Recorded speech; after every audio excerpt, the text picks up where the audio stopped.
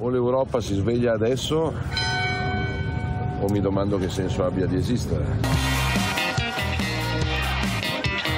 מתוך הרצון למנוע את הקרע בעם, החלטתי להשהות I am your warrior. I am your justice.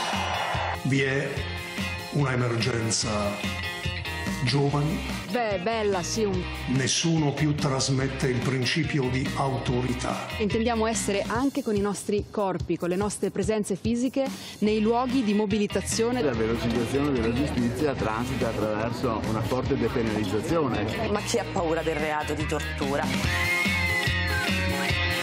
La domanda di sicurezza dello spazio mediterraneo è esplosa. Gli sbarchi sono triplicati. Gli sbarchi sono quadruplicati rispetto allo stesso periodo dell'anno scorso. Bruxelles dovrebbe finalmente darci una mano. Il governo è tornato da Bruxelles a mani vuote. Se noi pensiamo che il tema oggi sia quello delle ONG, C'è evidentemente un attacco della malavita in corso, indichiamo un falso bersaglio. attendiamo un aiuto perché l'Italia non può essere sola ad affrontare questo, questo problema, non ce lo possiamo permettere. Buongiorno e ben ritrovati. Questa mattina voglio dare un po' di numeri. Ieri è stato il giorno del click day, 83.000 posti disponibili per i lavoratori stranieri, però dopo solo un'ora le richieste dei nostri imprenditori italiani erano già oltre 240.000. Avete capito bene? Il triplo dei posti disponibili. Poi altri numeri. Dal primo di gennaio sono sbarcati sulle nostre coste 27.000 migranti, il quadruplo rispetto a un anno fa e il ritmo è destinato ai noi ad aumentare e anche molto perché arriva la bella stagione, il mare si calma, insomma queste cifre spiegano molto bene come il tema delle migrazioni sia troppo grande per essere risolto da un paese solo, come se l'Italia cercasse di svuotare il mare con un secchiello e anche lo scontro tra guardia costiera e ONG appare come un aspetto francamente secondario, per non dire irrilevante, rispetto alla soluzione della crisi sempre ammesso che la soluzione esista. Per questo stamattina partiamo anche da una di queste ONG, la Mediterranean Saving Humans, che ha detto fermiamoci tutti un momento e ripartiamo da zero, proviamo a collaborare, ha detto al governo italiano, ha scritto anche al capo dello Stato, proponiamo una tregua che l'obiettivo dovrebbe essere uno ed uno solo, salvare le vite in mare. Questa lettera l'ha scritta Luca Casarini che è con noi stamattina, eh, che saluto. E forse effettivamente è come se avessimo sbagliato bersaglio in qualche modo fino adesso. Chiederei di, a Storace e Rotondi di entrare in studio. Buongiorno Francesco Buongiorno. Storace, buongiorno Gianfranco Rotondi. Vedo collegato con noi il direttore del Corriere della Sera, Luciano Fontana, che troppo tempo che non vedevo. Buongiorno, ben ritrovato Luciano. Vedo buongiorno a tutti. Il nostro Antonio Caprarica. Buongiorno Antonio.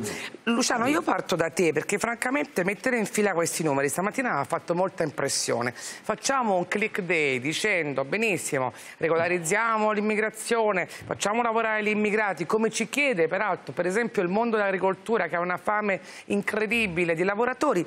Ne mettiamo diciamo, in palio 83.000 di questi posti e ci accorgiamo dopo un'ora che non solo sono finiti, ma che le richieste agli imprenditori arrivano a 240.000. Nel frattempo ci diciamo in continuazione com'è possibile? L'Italia è devastata, troppi arrivi, troppi arrivi, che ne faremo? Ma forse basterebbe farli lavorare negli ambiti e nei mondi che nel nostro paese hanno bisogno di lavoratori. Perché non riusciamo a fare questa cosa che sembra evidente, no?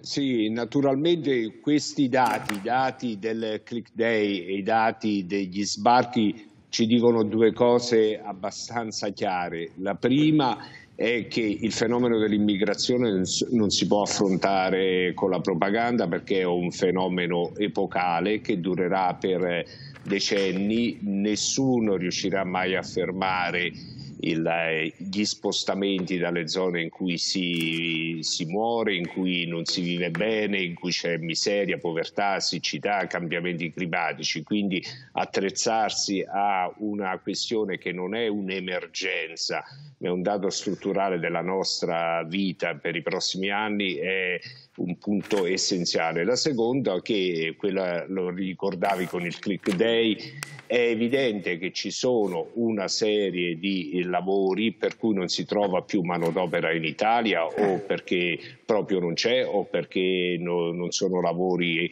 che gli italiani vogliono fare, c'è un problema demografico e c'è un problema anche di cambio di attitudine per quello che riguarda gli italiani. Allora, se si mettono insieme queste due cose, l'unica possibilità è che si cominci a ragionare di politiche serie in cui l'immigrazione eh, legale viene, viene favorita nel modo migliore possibile per rispondere anche alle esigenze dell'economia e per il resto si considera l'Italia come il paese frontiera dell'Europa quindi tutto il continente europeo comincia a ragionare seriamente delle cose che si debbono fare per mettere insieme questi due dati che riguardano esatto. l'Italia ma riguardano letto con molto paesi. interesse il tuo pezzo di domenica in cui dicevi siamo dentro una guerriglia ideologica e non riusciamo a fare le cose normali. Perché non si pensa all'interesse del paese? Storace, mi faccio una domanda io proprio da, da stupida, ma forse sono poco 83.000 posti, perché non possiamo dire ne abbiamo bisogno di più persone, di più immigrati che lavorino da noi? Facciamo direttamente un decreto flussi più grande, si cambia allora, la cifra, fossimo... li mettiamo a posto, perché nel momento in cui lavorano stanno meglio loro, stiamo meglio noi. Se fossimo un'assemblea del PD diremmo il problema è un altro. Ah. Però non siamo, no, fortunatamente, ma io stamattina direi. ho letto proprio il giornale Siamo gente concreta qui. Ho letto proprio il quotidiano di Fontana, il Corriere della Sera, e c'è una riflessione che mi è venuta spontanea su uno pezzo di cronaca che avete fatto su queste vicende. La domanda è, sono lavori stagionali la maggior parte di questi. Che succede quando è finita la stagione? Restano o ritornano? Mi pare difficile immaginare che ritornino a casa loro. Quindi questo è un problema che ci sarà, non è che lo possiamo sottovalutare e mi viene proprio dalla lettura del Corriere. Seconda questione, quella dei tantissimi che arriveranno io se, e c'è stata anche la denuncia di Giorgia Meloni. Come no? Ha parlato di 900.000 persone potenziali dalla Tunisia. Veramente. Però questo aiuta, aiuta questo numero a far capire a tutti gli europei che il problema non è solo italiano, perché non è che restano qua, si sparpaglieranno ovunque. Allora, il tema grande è quello che hai posto all'inizio. Non sapevo di questa proposta di tregua, se così si può chiamare. Per carità, eh, se il governo ce la fa con eh, da Casarini in giù, io qui non sapevo che c'era, lo saluto. No, ma in realtà ti dico la verità, l'abbiamo chiamato stamattina perché eh, vabbè, no, ho letto questa lettera e mi è sembrata una lettera di gran buon senso, finalmente non litighiamo. Allora, proprio per le questioni legate all'immigrazione, questo paese, e lo scandalo è che nessuno ne parli più, ho letto sempre sul Corriere una cronaca l'altro giorno. Beh, abbiamo è... trovato un grande C'è... lettore del Corriere, caro Luciano. Sempre, sempre, sempre. No, no, il direttore lo sa, non mi devo arruffianare. Ma eh, anche perché con la mia identità, diciamo, di parte non è difficile scrivere lì, quindi è gratuito il eh, mio contributo. Ma questo paese ha un ex ministro dell'interno che sta alla sbarra rischia 15 anni. Che tregua vuoi fare? Chi allora, è che si deve fermare? No, chiedo scusa. Chi è che si deve fermare in questo casino generale dell'immigrazione? A me vedere che ogni mese Salvini deve andare a Palermo per rispondere ad accuse che sono francamente incredibili Beh, mi pare una cosa allora, strana, diciamo così. Vorrei vedere un fondo cosa. del Corriere, ecco, lo dico adesso. No, no, no, allora, eh, io penso sia molto interessante, anche perché onestamente io anch'io conosco bene Casarini da tanto tempo, ho sempre usato toni molto aspri per criticare, per esempio, l'operato del governo Meloni, per esempio, i decreti Piantedosi. Fatto sta che però questa lettera scritta dalla sua organizzazione, questa lettera aperta al Presidente del Consiglio, al Consiglio ah, dei Ministri... roba sua? Eh? È roba di Casarini questa? Sì, mediterranea, è sua cioè sua, capito, insomma, lui capito, fa parte dell'organizzazione, è uno di quelli che sì, poi, insomma, sta sulle navi, fa questo, lo fa questa, questa, questa, questa cosa, la fa lui un in prima persona, quindi sa pure che succede. Quando lui dice basta questa guerra alle ONG, allora, cooperiamo per salvare in mare più vite possibili, produciamo un'azione sinergica davanti a questo imperativo salvare che possa indurre l'Unione Europea a uscire dalla latitanza. In effetti la stessa cosa dice Salvini, cioè noi poi alla fine stiamo facendo la guerra fra di noi, quando abbiamo un problema problema che è enorme. Abbiamo in Europa che continua a far finta di niente, quando l'Italia ha palese... Fino a un certo punto, però, eh la visita ieri di Gentiloni a Tunisi non è un far finta sì, di niente. Adesso questo grazie anche, alle pressioni italiane. Ha avuto, eh? stato, una anche alle pressioni thriller quella visita di Gentiloni, doveva incontrare il premier tunisino, poi no, non e lo qualcuno è intervenuto, poi eh, qualcuno è intervenuto. Esatto. Eh. Allora, Casalini, eh, dice, dice, però, dice, però, il nostro Storace, beh, lei vuol fare la tregua, però insomma siete i primi che avete detto che praticamente Salvini era un assassino che speronava le navi. Tu.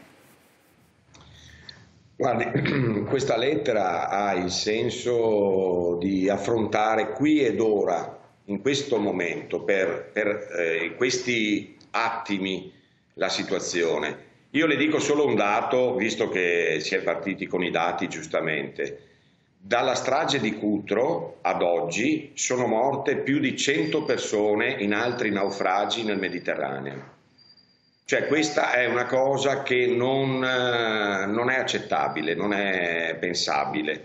Cioè noi abbiamo una miriade di problemi, di politiche, Cioè la Guardia Costiera ha detto che ne ha salvati moltissimi, cosa vera, perché ne ha salvati credo... Eh, il numero che hai fatto vedere prima sono più di 3.000. salvate? Eh? Sì, il numero sì. che hai fatto vedere prima, i 27.000 e passa, sono persone salvate dalla morte in mare. Sì, sì. sì Dopodiché però, però eh, dice, però dice Casalini perché evitare... continuano a morire le persone davanti a casa nostra? Beh, vorrei evitare il, eh, il, raffronto, no? noi non possiamo dire siccome ne abbiamo salvati 27.000, 100 possono morire. Noi dobbiamo provare a fare in modo di avere un sistema di soccorso in mare efficace, il più efficace, più efficace. Allora io dico, siccome sta arrivando l'estate, noi adesso siamo a marzo, abbiamo visto questo, il che significa che a luglio e ad agosto sarà tre volte tanto, quattro volte tanto. Allora, e congelando un attimo le nostre giuste e sacrosante eh, diatribe e conflitti, io dico solo, creiamo un sistema da società civile a militare di soccorso più efficace le, eh, come dire, I pescatori di Mazzara del Vallo l'altro giorno hanno fatto la stessa proposta al governo dicendo noi abbiamo i pescherecci che sono in fermo pesca, utilizzateci, perché se il tema, è un primo grande tema è questo, salvare le vite, questo ci dà anche però, autorevolezza scusi, io non vorrei fare la guasta perché... festa adesso sento Rotondi e Caprarica però no. in realtà il governo dice le cose molto precise dice, prima cosa dice le ONG in molti casi funzionano da pull factor perché si avvicinano troppo, perché si mettono davanti alle coste libiche e questo fa sì che le persone sanno che verranno salvati. In più, ieri, dice di fatto la Guardia Costiera, fanno pure un bel caos per non usare un'altra parola, nel senso che poiché continuamente fanno, eh, cioè non fanno come dicono noi, quindi non tornano in porto dove diciamo noi, non fanno un solo, nel caso della nave di Bansky, un solo salvataggio ma due, quindi ci sono due temi diversi, per loro l'imperativo è salvarne il più possibile anche se sono lontani dalle nostre coste, vedi acque, eh, la famosa SARS libiche l'Italia, il governo, ha una posizione opposta, cioè noi possiamo caricarci tutti i problemi del mondo. Ah, io non ho nulla contro le ONG a cui riconosco, anzi, di fare il possibile, di fare cose in cui tante persone credono, perché bisogna dire che lì dentro c'è tanta gente che rischia la vita, che dà la vita, che dà il suo tempo per salvare vite umane, quindi ne parlo con molto rispetto, eh. per quanto mi riguarda anche con molta ammirazione. È vero è che la Guardia Costiera ci dice troppi allarmi, troppa confusione, questo capita ovviamente quando una cosa non è ben organizzata, ma il tema che mi angoscia è un altro. Io ricordo il mio primo comizio lo feci con un grande dimenticato della democrazia cristiana, che era l'onorevole Fiorentino Sullo. Noi pensammo che dicesse una cosa che non aveva aderenza con la realtà, e parliamo di 32 anni fa, disse, disse la vostra generazione si scontrerà con un tema, la grande Africa verrà nella piccola Europa e non avrete più posto per voi. Detto 32 anni fa.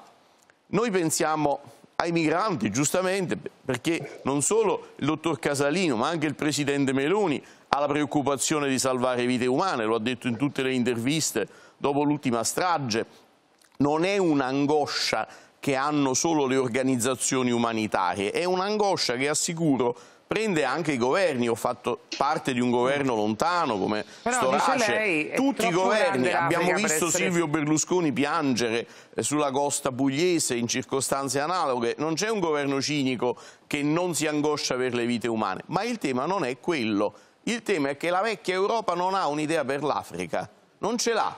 Abbiamo avuto visionari come Sullo, come Don Berzè Don Verzé è stato un altro grande visionario allora, che effetti, ci ha detto l'Africa è il frontiere della medicina. devo dire che Io non voglio spostare come il PD su un altro terreno il tema, ma intanto non possiamo consentire a scafisti assassini, quelli sì, di organizzare la possibile morte di disperati che gli danno migliaia di euro per rischiare non la vita. Due, e su quello dobbiamo non... essere fermi tutti. Allora io sono democristiano e compromissorio, mi farebbe piacere un compromesso tra ONG e governo, ma la prima cosa che dobbiamo dire, facciamo un compromesso per dire che gli scafisti sono degli assassini. Dei delinquenti. Ora risponde Casarini su questo, però prima voglio sentire Caprarica, ti faccio sentire ieri cosa ha detto Matteo Salvini sull'Europa peraltro, perché poi insomma c'è questo convitato di pietra con cui la Meloni cerca di trattare. Ieri Salvini è tornato un po' ai vecchi toni di una volta, guardate.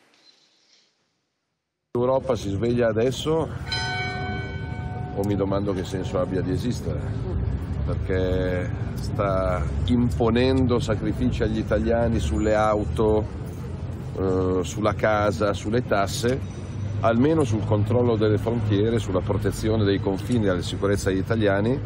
Bruxelles, quei miliardi che l'Italia manda in Europa ogni anno, dovrebbe finalmente darci una mano, perché Lampedusa Trieste, Ventimiglia sono confini europei, non sono confini italiani, quindi qua c'è, evidentemente un attacco della malavita in corso, se l'Unione è un'Unione attendiamo un aiuto perché l'Italia non può essere sola ad affrontare questo, questo problema, non ce lo possiamo permettere. Allora, eh, hai capito Antonio, abbiamo un governo che cerca di trattare, dice no, il bicchiere è mezzo pieno eh, e poi una Lega che invece torna ai toni di una volta, cioè questa Europa oh, latita. Eh, ma sai, voglio dire, se abbiamo, eh, cioè qui il, il ministro Salvini non è un leader della Lega, è il vicepresidente del governo no? italiano. Ecco. Allora, eh, se il vicepresidente del governo italiano ha dell'Europa l'idea di una specie di tassì che si prende quando fa comodo, quando serve, per il resto per cortesia non scocci, dalle auto elettriche alle case, alla sull'ambiente, l'Europa non ci deve disturbare.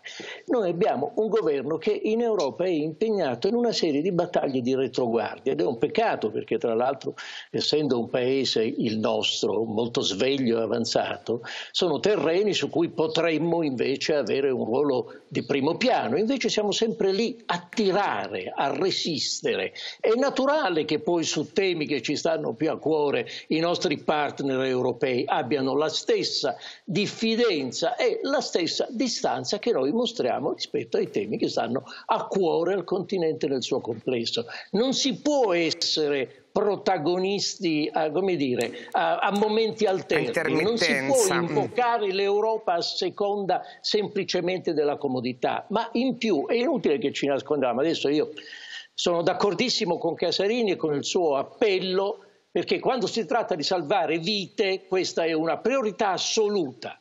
Però sono due cose diverse, salvare vite in mare e affrontare questa cosa gigantesca che è l'emigrazione.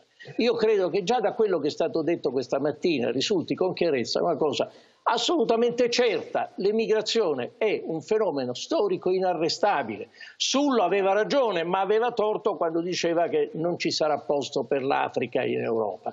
E invece il punto vero è che, come stiamo vedendo, c'è c'è posto, c'è molto posto, perché quando già molti anni fa, tanti in Italia, eh, si diceva, guardate, che noi abbiamo bisogno dell'afflusso, abbiamo bisogno per il nostro inverno demografico, se vogliamo continuare a crescere, se vogliamo continuare a guardare al futuro, abbiamo bisogno dell'afflusso di gente nuova che arriva dal continente dove la gente che ha meno di 20 anni è la maggioranza assoluta degli abitanti. Quindi abbiamo bisogno di questo afflusso e i numeri che tu hai citato lo dimostrano. Ma invece che cosa avevamo di fronte? I teorici della sostituzione etnica. Quando si diceva guardate che l'afflusso degli immigrati è una cosa buona e utile, è utile al nostro paese a crescere e a rimanere sulla piazza? La risposta era che c'era la sostituzione etnica, che volevamo sostituire eh, i bianchi cristiani con i neri musulmani. Eh? Questa è stata la risposta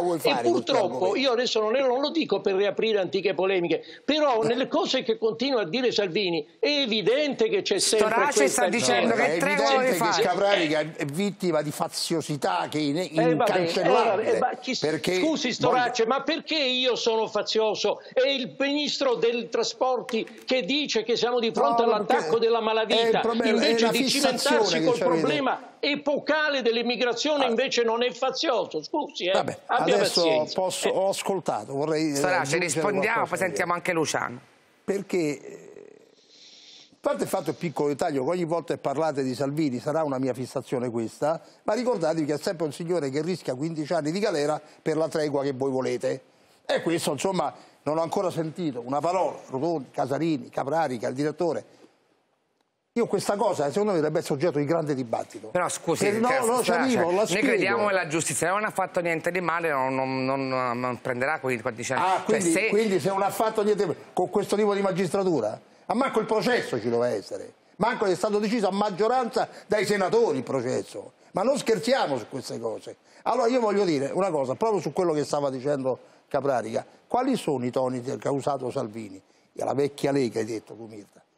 Eh, ragazzi, questo ha detto una cosa semplice, semplice. Noi siamo in Europa e paghiamo il biglietto per la casa. Siamo in Europa e paghiamo il biglietto per l'automobile. Quando chiediamo noi aiuto, nessuno ci si fila. E beh, questo, a che serve questa Europa? Ma che cos'è? Una, una parola così in distonia rispetto al sentire comune? Non credo. Tanto è vero che proprio la Meloni, quando è andata No, al però Consiglio Meloni è europeo... appena andata al Consiglio d'Europa cercando di trovare degli accordi, Ma no? ieri se si è fatto quell'incontro tra Gentiloni e il presidente tunisino è perché qualche italiano saggio ci è intervenuto quando si stava per cancellare dall'agenda questo incontro. Cioè l'Europa comincia a capire quello che diciamo da anni, che bisogna aiutarli a casa loro. Eh, ma questo è un tema grande come una casa. Allora, a tregua è, ci state a fare la moratoria delle polemiche tra maggioranza e opposizione? Perché io ogni volta sento questo derby che mi dà molto fastidio. Di qua, diciamo, grande successo in Europa, di là è tornata con un pugno di mosche in mano, ma non si va avanti da nessuna parte così. Allora si tratta di unire questo paese in un grande patto proprio sull'immigrazione. Allora, Allora. questa sarebbe una grande svolta. Se invece la partita, la disfida tra il 10% di immigrati che arrivano attraverso le ONG e gli altri che salvano la Guardia Costiera, è un derby che però non risolve nulla. Allora, eh, Luciano, a proposito di derby, appunto, torno al tuo pezzo, no? Ehm, È, tutta una, una gra- grande querelle ideologica quasi sempre, perché appunto si torna quasi sempre a chi siamo noi e chi siete voi, perché poi mettiamo insieme questioni differenti, molto differenti. Prima sentivo strepiti, strilli nello studio di Coffee Break sul- sulla maternità surrogata, e in realtà però è sempre più o meno la stessa cosa. Qui ci ricorda Caprarica, signori, qua parlavamo di eh, sostituzione etnica, io lo sento con le mie orecchie fe- questo la fece già un sindaco a Riace la sostituzione etnica. Su- suggerirei di non prenderla perché No, quello è l'esempio insomma, vero. se poi Quello facciamo è un click day in cui vediamo Eh, eh, se non 80.000 è posti... faziosi- Storace, se non è faziosità questa, io rispetto la sua faziosità che ho sempre trovato anche stimolante, Meno ma se non è faziosità male. Però io no, a sostenere che a differenza tua non Riace mi c'è stata, la, c'è stata la sostituzione etnica, abbia pazienza. Eh, Ma lui la condanna ce l'ha avuta, eh, ce l'ha avuta. Eh, ho capito, ecco, Allora- e allora chissà perché la magistratura che Primo giudica gra- il sindaco di Riace è una magistratura indiscutibile. Quella che si occupa del ministro Salvini Allora. non va bene. Assolutamente Storace, così. Facciamo un eh, attimo no, di eh, chiarezza. no, Io penso che- Lucano io avuto una sentenza di primo fosse, grado insomma. e non prostituzione etnica, per dirlo. Salvini è sotto processo ma non è stato dichiarato colpevole, così ci Beh, mettiamo deve tutti tranquilli. processo almeno, non è che lo decide il Senato se è colpevole, il Senato ha detto che dovevano processarlo e questo è il grande errore, perché si è deciso a maggioranza che un signore deve andare a giudizio e questa è la continua schifezza. Va bene, la considera una schifezza, intanto fa parte delle regole sono 30 democratiche. anni che il Parlamento non difende le sue prerogative, quindi la lotta politica ormai si è trasferita nelle aule giudiziarie Oh, yeah. da 30 anni. Va bene. Eh, Luciano, è forse quelle, quel tuo fondo, diciamo che è un po', è come dire, è romantico, è romantico rispetto alla situazione italiana.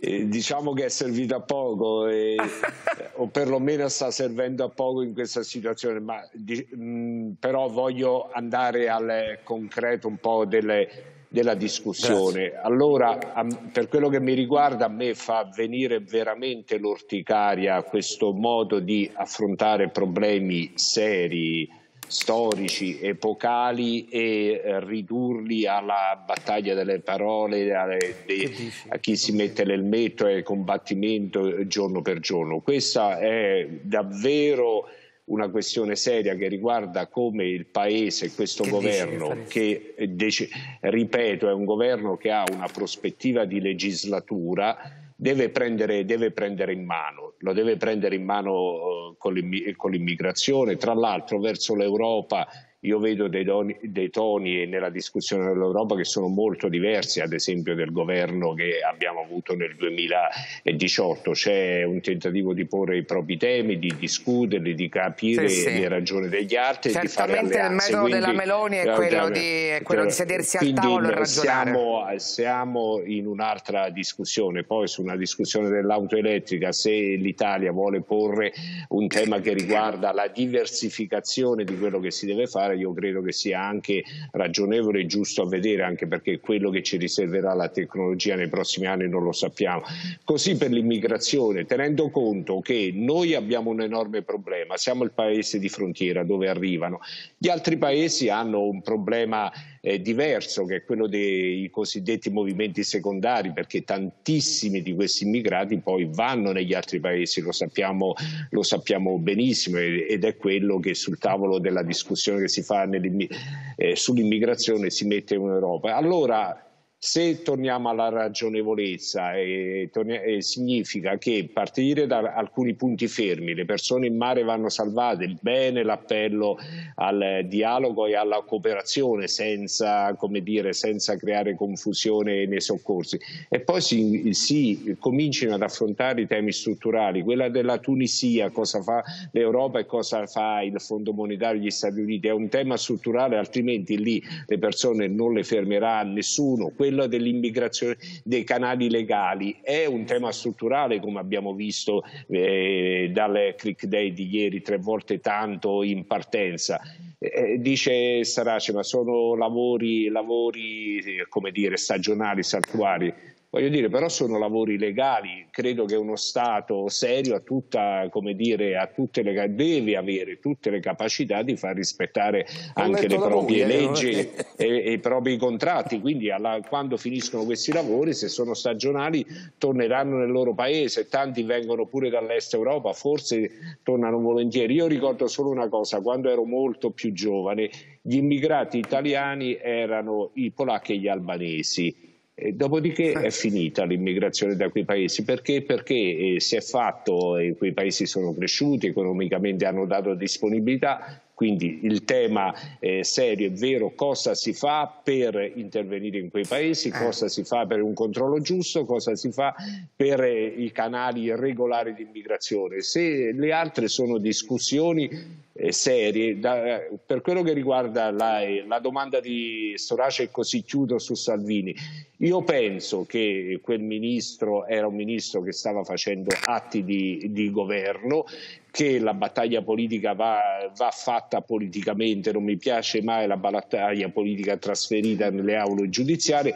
Naturalmente in Italia c'è una magistratura che è un ordine eh, separato e, e, alla fine se c'è un processo io ho anche fiducia che quel processo andrà eh, nel, nel modo regolare e giusto e con le conclusioni che si dovranno trarre. Allora, vediamo di capire a livello politico tutto questo dibattito poi cosa produce, no? Perché poi naturalmente la dinamica maggioranza-opposizione c'è, certamente l'immigrazione è sempre stato un tema identitario per la destra, anche poi ha dato molti consensi, una fase differente. Il paradosso è che invece oggi si trova lei a doverla gestire, quindi sono le soluzioni da dare, non è eh, gridare allo scandalo perché ci sono troppi sbarchi. Vediamo.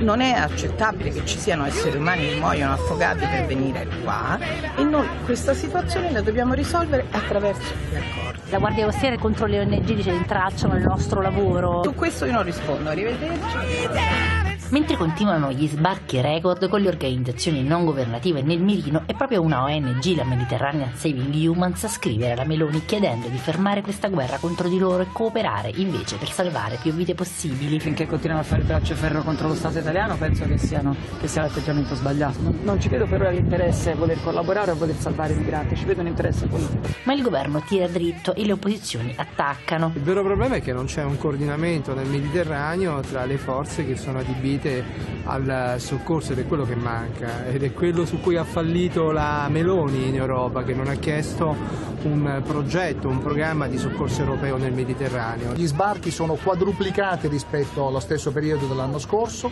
continuano a morire in mare tanti troppi profughi e il governo è tornato da Bruxelles a mani vuote. Ed è la linea ripetuta dalla stessa neosegretaria del PD Elish Lyon che ieri ha incontrato per la prima volta i gruppi parlamentari che oggi eleggeranno i nuovi presidenti, non senza qualche frizione interna. Immagino la segretaria voglia tenere insieme una comunità che ha fatto del pluralismo della cultura di governo uno dei tratti tipici qualsiasi corrente a me fa venire l'orticaria, ci hanno fatto tanto male del passato, nel passato è guai a pensare che si possano riproporre neocorrentine oppure da parte di nessuno. Malumori sotto traccia che potrebbero esplodere nella scelta della nuova segreteria. Stiamo lavorando eh, affinché si possa trovare un assetto complessivo di questa nuova e positiva fase del Partito Democratico che sia un assetto equilibrato, rispettoso naturalmente del suo pluralismo interno ma anche dell'esito del congresso e della linea politica che eh, ha, ha vinto quel congresso.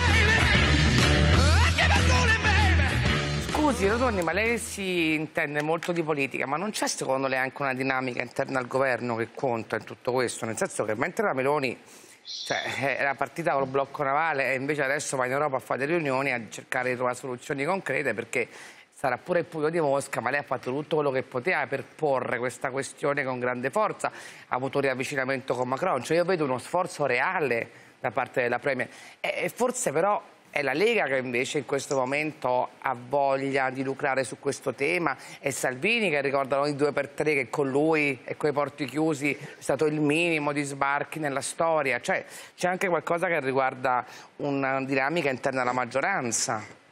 Ma questo è un governo di coalizione, non è un monocolore.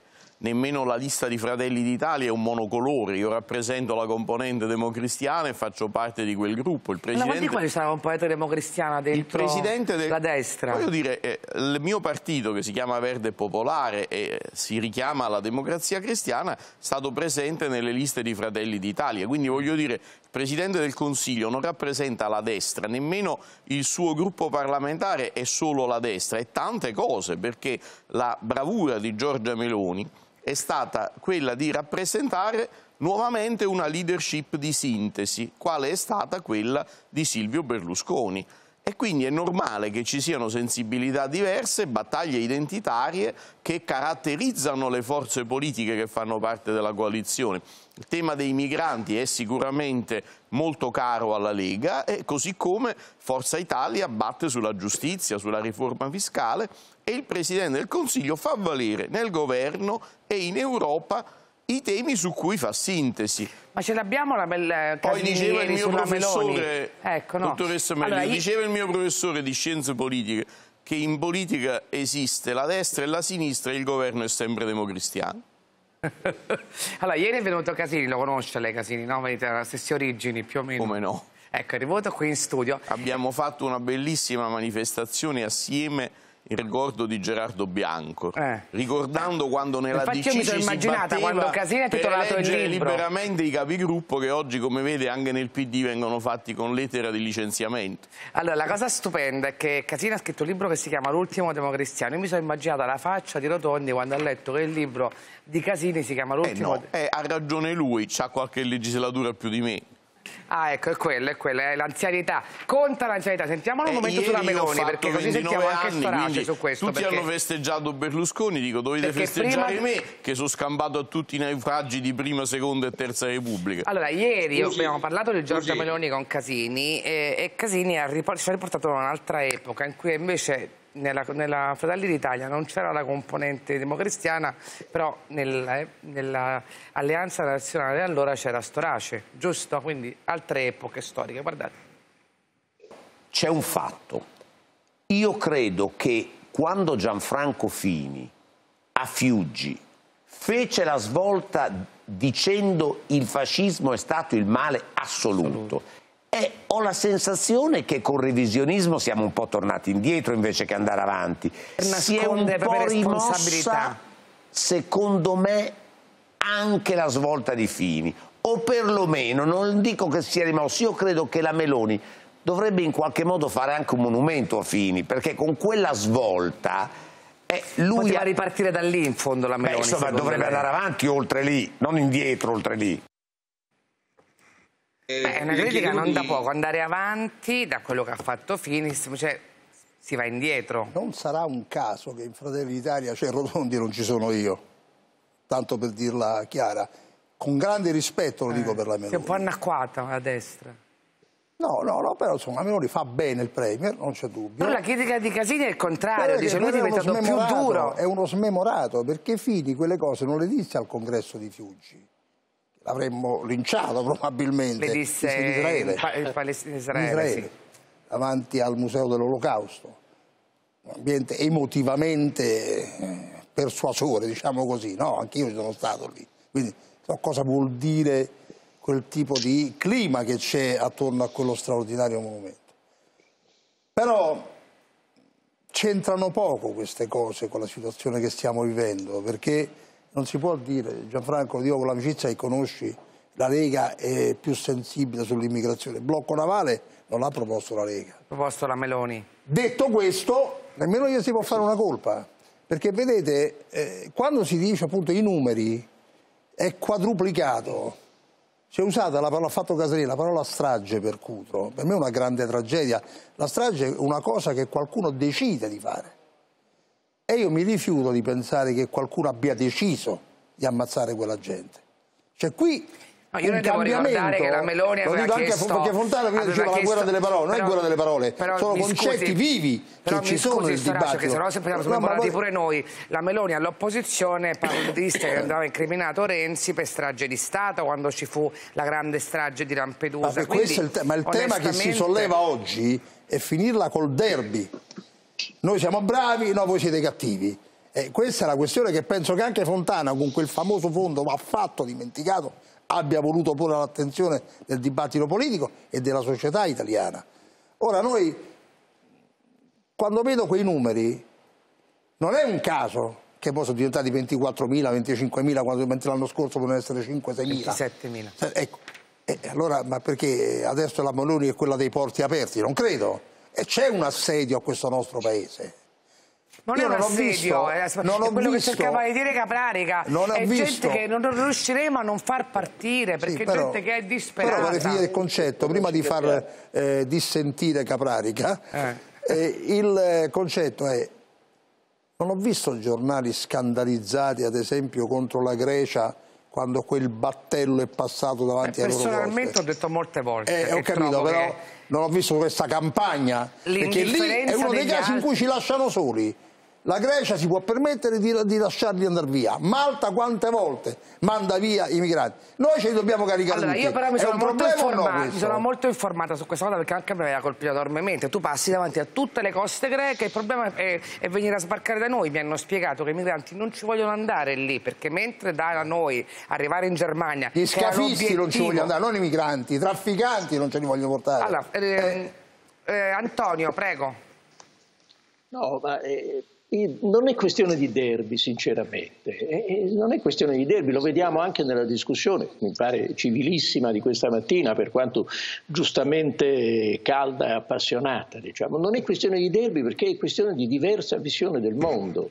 E allora ha ragione Storace quando dice, ad esempio, ma eh, la Grecia e Malta, ma questo può impattare sulle nostre decisioni di salvare vite?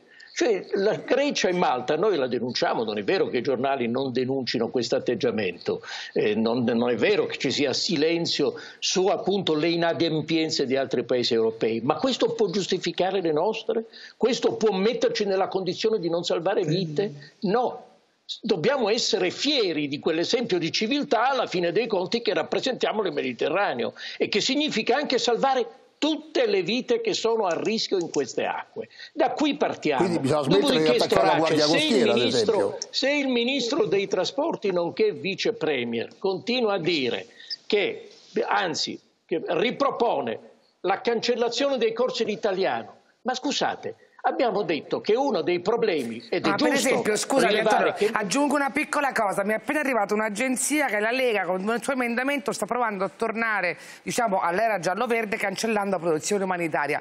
Ma che senso esatto. ha la produzione umanitaria? Non è che non sbarcano più se la cancelliamo. Io faccio fatica a mettere in fila le cose, questo è il problema. No, è, è demagogia, è demagogia allo stato puro, che naturalmente serve moltissimo alla Lega in una battaglia, questo è evidente, insomma lì in studio hai due eh, eh, vecchi esperti comandanti di sommergibili politici, allora sanno perfettamente che sotto le acque del governo c'è c'è, uno scontro di sommergibili, no? uno scontro sotterraneo eh, in cui la Lega naturalmente cerca di sganciare quanti più siluri può all'indirizzo di Giorgia Meloni che non ha no, solamente una maggiore delirio, capacità chiaro. di sintesi. Questo è il delirio proprio. Giorgia... La Lega è alleata con la Meloni, non è contro la Meloni. Capito, la Lega sarà alleata questo, con la, volta per tutte. La Lega sarà alleata con la Meloni, allora... ma ogni giorno abbiamo una Lega che ogni giorno che ha diritto di parola, è vero, riesce è vero. a mettere che marca il suo punto. E allora francamente non mi sembra che questa, per carità io sono d'accordo sul fatto che questo è un governo che dura cinque anni, ma non vuol dire che in un governo che dura cinque anni non ci sarà una guerriglia quotidiana della Lega per segnare dei punti, come fa su questo punto dell'immigrazione. Ma se la, la gran... noi siamo di fronte a un fenomeno che tutti siamo d'accordo, che diciamo che è epocale. Rotondi giustamente addirittura ricorda Fiorentino Sullo e che cosa dice il vice premier del governo italiano? Che siamo di fronte all'attacco della malavita, che bisogna cancellare la protezione umanitaria e cancellare i corsi di italiano per quelli che sono riusciti ad arrivare in Italia. Così invece di avere dei nuovi cittadini italiani abbiamo dei nuovi emarginati alla stazione Termini. C'è una logica in questo? Allora, fermiamoci un momento, devo andare in pubblicità. È meglio la pubblicità Però poi, non so se voi vi ricordate, immagino che Luciano o me se lo ricordi, uscendo dal giuramento al Quirinale, il ministro Nordi aveva detto bisogna depenalizzare questi è un paese in cui sono, tutto diventa penale e non ha senso. Ebbene, ci siamo accorti che invece in questa fase continuiamo a eh, creare eh, per legge nuovi reati. Quindi adesso ripartiamo da quello, pubblicità.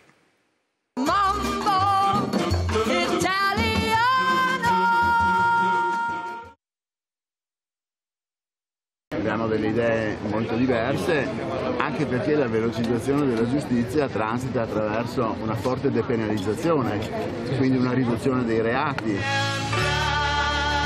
È il giorno del giuramento. Sul piazzale del Colle il ministro Nordio presenta il suo piano garantista per la giustizia. ma basta un rave in un capannone di Modena ad agitare la rotta. Il primo Consiglio dei Ministri dell'era Meloni introduce un nuovo reato. Abbiamo quindi strutturato questo intervento normativo che prevede la fattispecie specifica delle invasioni di terreni ed edifici finalizzati a raduni di oltre 50 persone le emergenze reali o percepite hanno sin da subito ispirato il ricorso all'introduzione di norme penali ad hoc o all'inasprimento delle sanzioni. Orientativamente sarà un quadro di regole a cui assoggetteremo l'eventuale iniziativa di questi organismi privati alla violazione dei quali fare scattare delle sanzioni più, più efficaci. Se il decreto ONG ha inteso regolare l'azione di salvataggio delle navi attraverso sanzioni amministrative, è col decreto Cutro, approvato dopo l'ultima tragedia, che il governo ricorre di nuovo al diritto penale. Il decreto prevede un aumento delle pene per il traffico di migranti, ma prevede soprattutto l'introduzione di una nuova fattispecie di reato. Quello che vuole fare questo governo è andare a cercare gli scafisti lungo tutto il globo terracqueo.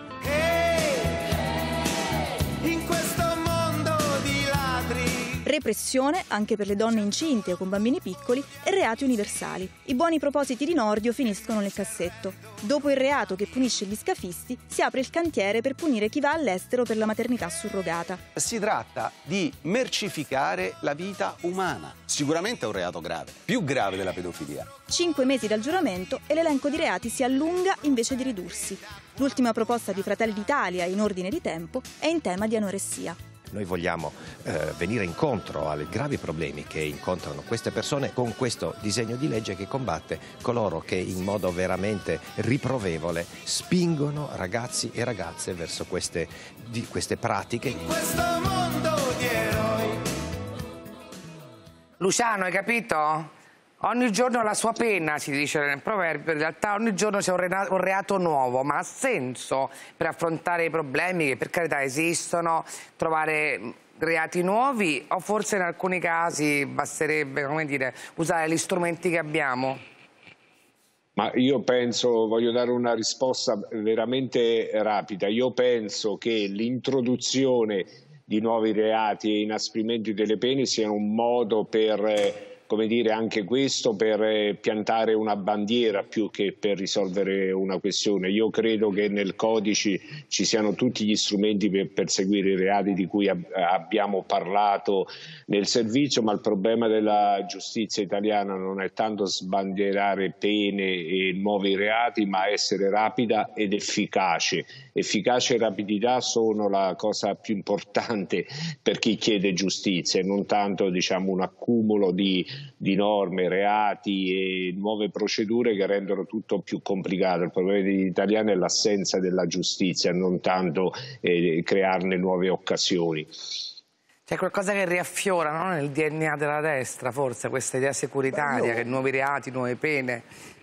Mi ha colpito il concetto di rapidità ed efficacia. Io per contare sulla giustizia ho rinunciato più volte alla prescrizione, tanto per intenderci, e arrivare sempre alla soluzione. È evidente che eh, il tema dell'efficacia c'è tutto, però non bisogna nemmeno dimenticare quello che nel frattempo sta accadendo. È vero, ci sono nuovi reati, ma il mese scorso la Casellati ha mostrato pubblicamente mille leggi che sono state abrogate. Cioè ci sono anche queste cose nell'ordinamento.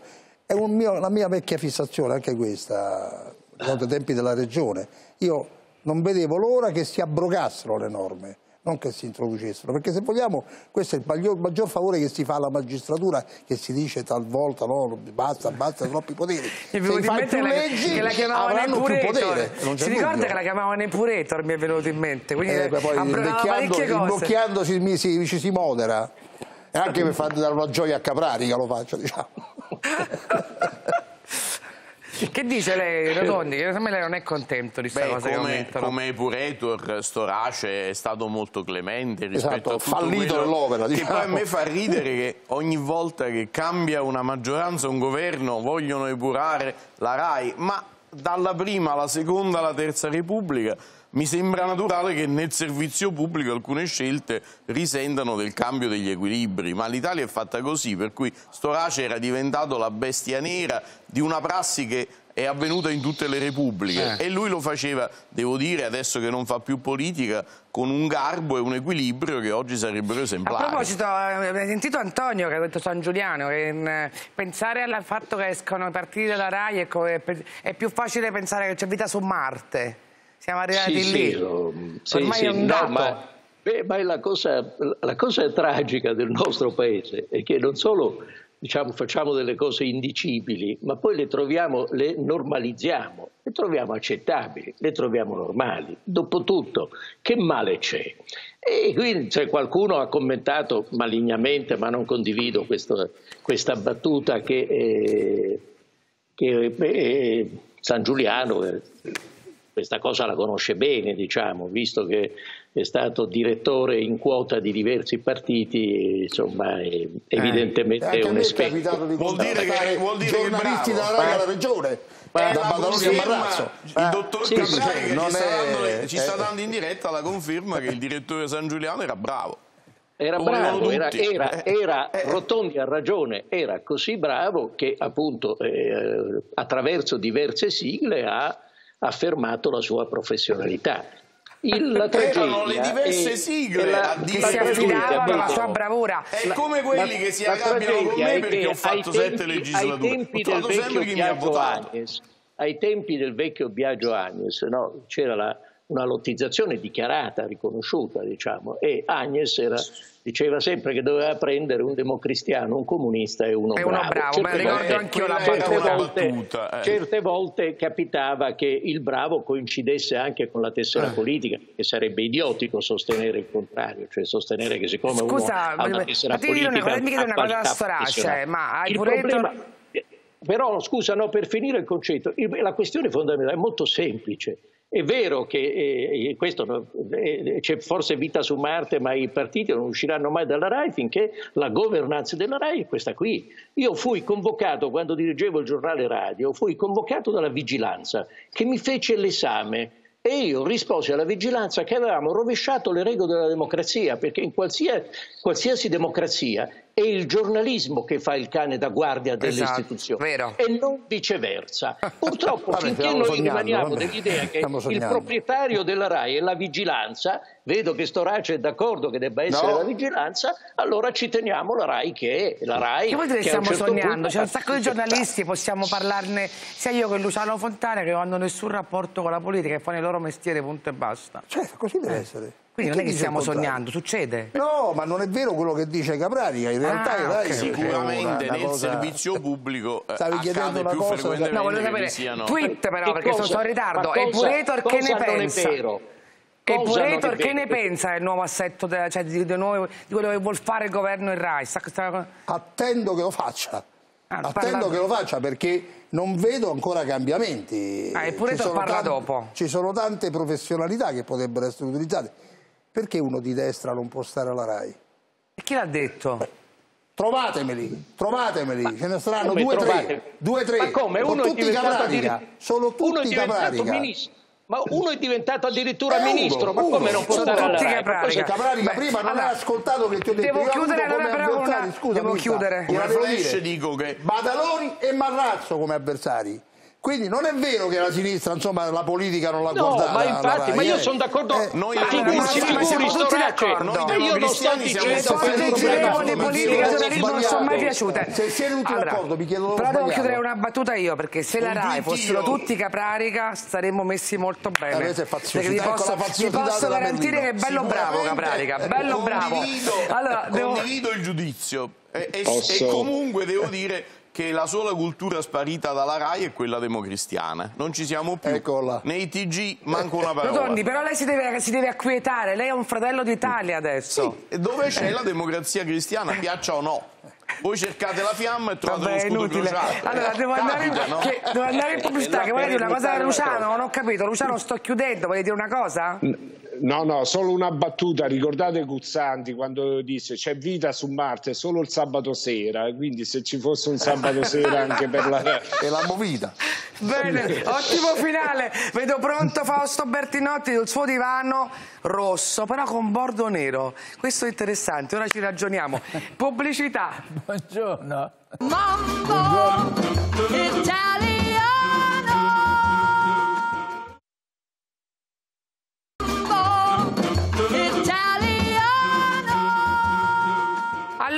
Eccoci qua, il presidente Bertinotti pronto per noi. Adriana Bellini con le ultime notizie. Adriana.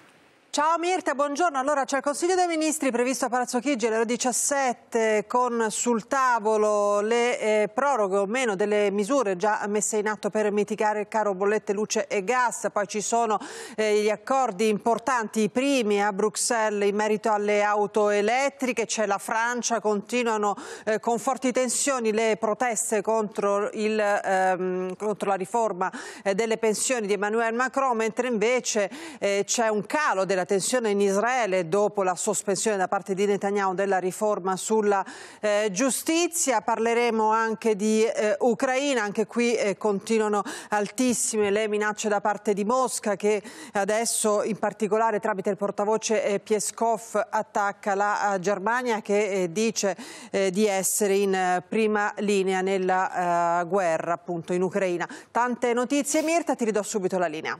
Grazie. Allora, Presidente Bertinotti, buongiorno, ben trovato. Ho notato che non solo il divano Buongiorno. è rosso-nero, ma anche il libro che lei ha appena dato alle stampe, La dissoluzione della democrazia, è rosso-nero. Allora, ho tre possibilità. Una, un riavvicinamento al governo. La seconda, la sua fede eh, pazzesca milanista. La terza è invece la- l'anarchia, perché quello è il colore degli anarchici, il rosso-nero. Scarti la prima. Ah, scarto la prima, ok. Le altre due vanno bene tutte e due?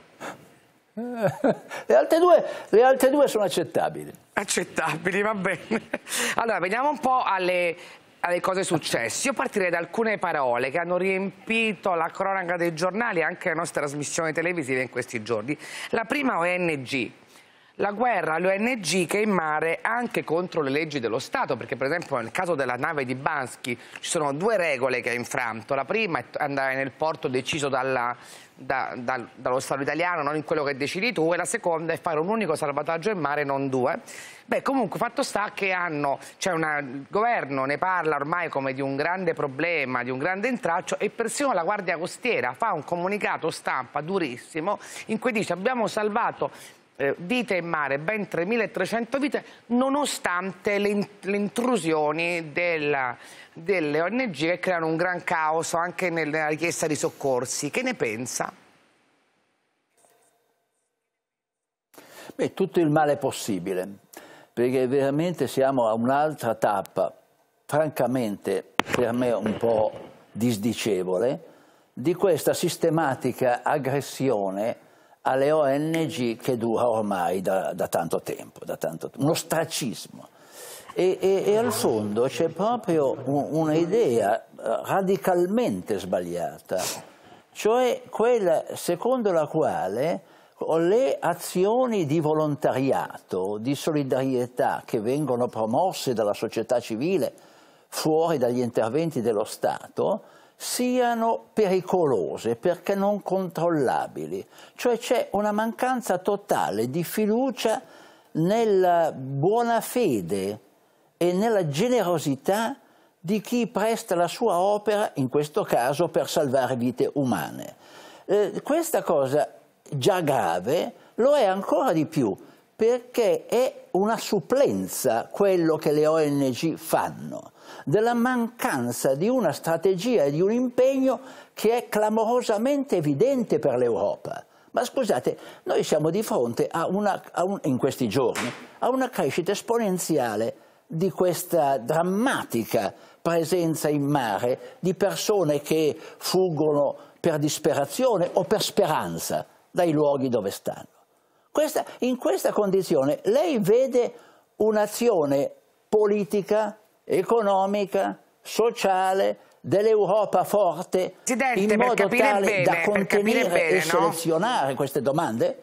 Però la cosa che voglio chiederle io è questa. Eh, la, eh, la Guardia Prego. Costiera, che nessuno di noi può pensare che è un organismo che- che- che- di parte o che faccia politica, no, che anzi io credo che dobbiamo tutti noi considerare invece come un corpo dello Stato straordinario che ha salvato a sua volta migliaia di vite, eh, dice in quel comunicato che mi ha molto colpito che eh, l'azione della ONG in qualche modo complica e ritarda la loro capacità di agire. Guardi, eh, io inviterei ad ascoltare, mh, non dico tutte le mattine, ma qualche mattina, i servizi che su Radio Radicale vengono fatti da chi è lì, da chi è in mare o prossimo al mare e osserva le situazioni. E ascolta la Guardia Costiera e le ONG, le ascolta. Facciamo una prova. Ascoltiamo per una mattina il servizio che viene fatta sui comportamenti reali e vedrà che sono un inno alle ONG purtroppo limitate da una serie di vincoli che impediscono loro di fare quello che potrebbero anche meglio fare. Per ciò che riguarda la Guardia Costiera io ovviamente mi unisco al suo, al suo rispetto, tuttavia vorrei farle notare che in ogni organismo statale l'influenza della politica si esercita in maniera rilevante. E, e dunque se, un- se il clima si inasprisce, se il clima diventa quello, secondo la formula di Foucault, di sorvegliare e punire, non c'è nessuno che riesca a sottrarsi del tutto. Ci vuole una coscienza civile che sia in grado invece di fare l'operazione contraria, cioè di ripristinare la verità e soprattutto di aiutare chi già sta aiutando coloro che soffrono.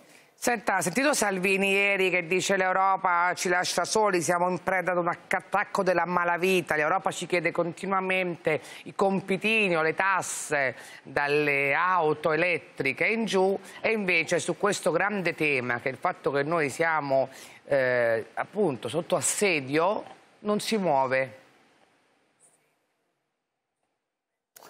Beh, insomma, intanto possiamo constatare questo, diciamo, nell'andamento sinusoidale della posizione del, del ministro Salvini sull'Europa, adesso diciamo siamo nel picco dell'avversità. Qualche settimana fa invece eravamo a beneficio di inventario, ma non fa niente. Eh, intanto attacco della malavita.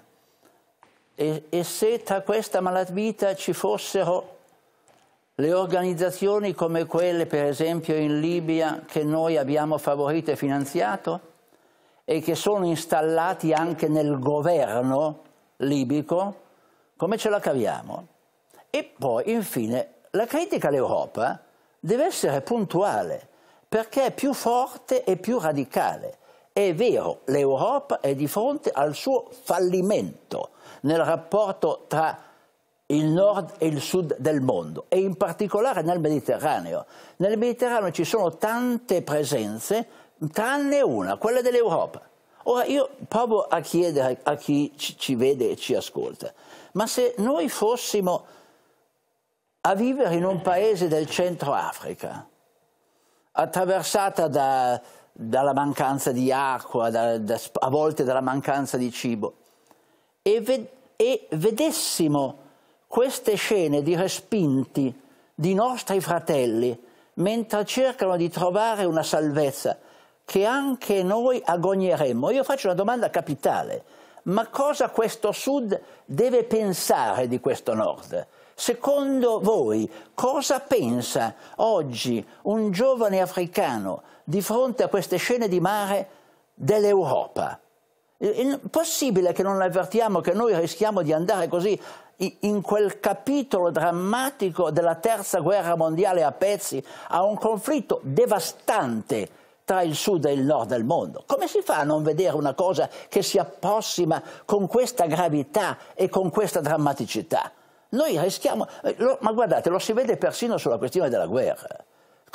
anche qui, perché c'è questa differenza così eh, totale tra le posizioni dei governi occidentali e dei governi di tre quarti della parte del mondo, che stanno a est e a sud. No, non c'è dubbio, non c'è dubbio. Come si fa a non cogliere il, il punto drammatico che si sta approssimando a noi?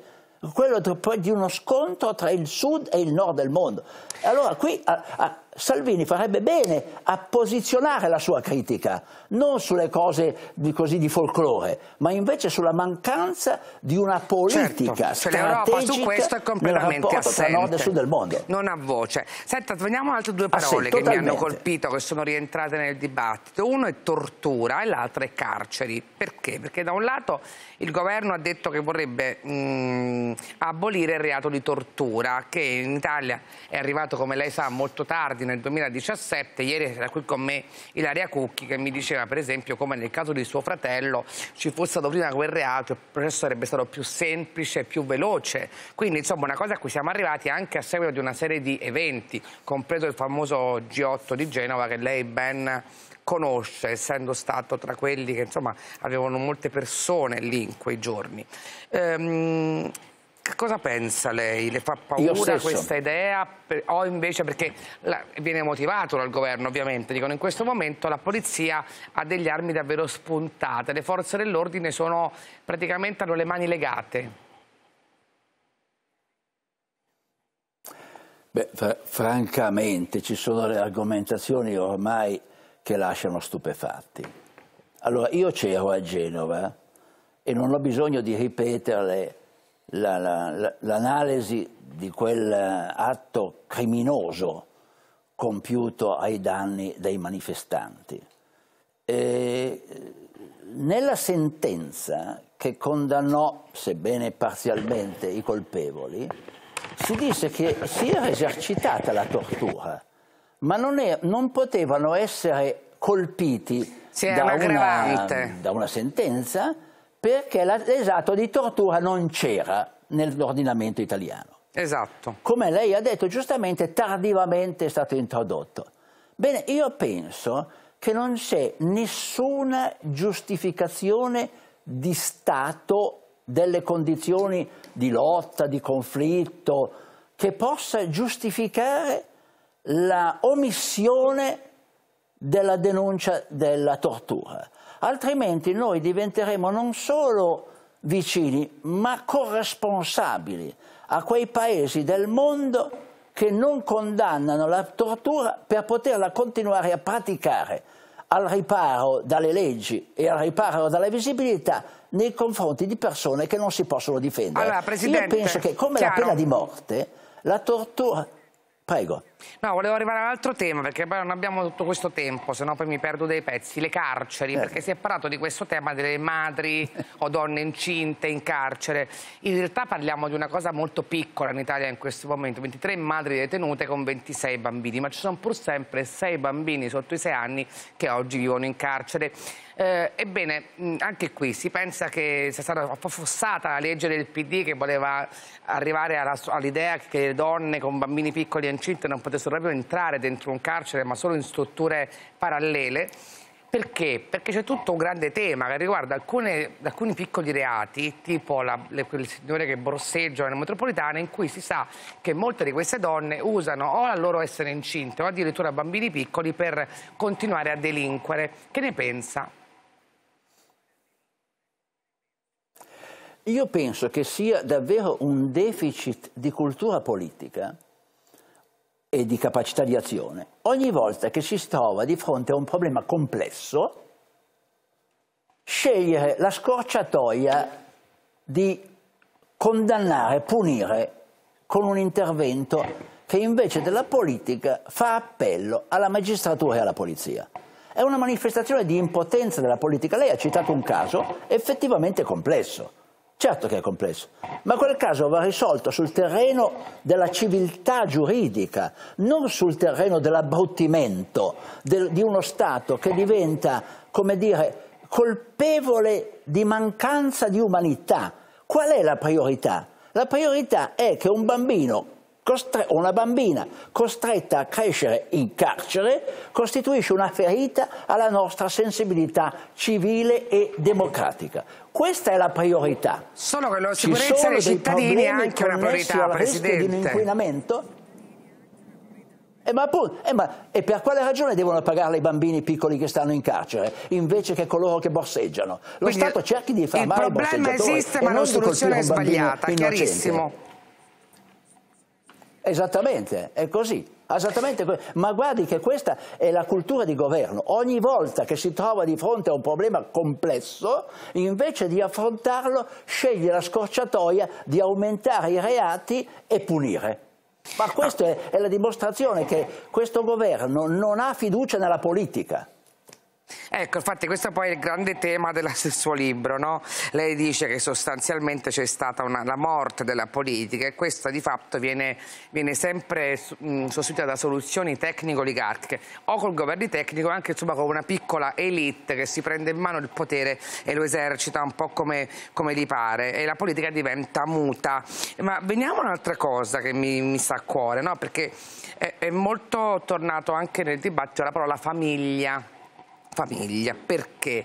Perché tutta la storia delle famiglie omoparentali, omogenitoriali, eh, quindi famiglie arcobaleno, famiglie eh, composte da due persone omosessuali, eh, che cosa ne pensa? no? Perché anche qua, insomma, ehm, la sinistra, si, eh, il PD di Ellie Schlein ha deciso di fare una battaglia senza confini su questo. E poi però è tutto un mondo, anche tutta l'anima cattolica che nella nostra società è molto presente, che dice, beh ma eh, così in effetti è un sotterfugio per far passare una cosa orribile che peraltro in Italia è reato, dicono quelli che tipo a Roccella, e cioè la pratica dell'utero in affitto, che è vero che non si può fare, ma se poi questi bambini in Italia vengono considerati figli a tutti gli effetti di quei due genitori, vuol dire che noi la stiamo facendo passare sotto traccia. Eh, siamo nello stesso ordine di problemi della risposta alla domanda precedente. Tuttavia mi, mi permetta di dire, non, non in questa trasmissione, ma non omettiamo che anche queste mancate risposte sono figlie della crisi della democrazia. Guardi, non è un cortocircuito inventato. In, in Francia, di fronte a questo straordinario movimento, ormai molti studiosi francesi, compresi saggi scritti sulle Monde, dicono che è la fine del regime. Perché?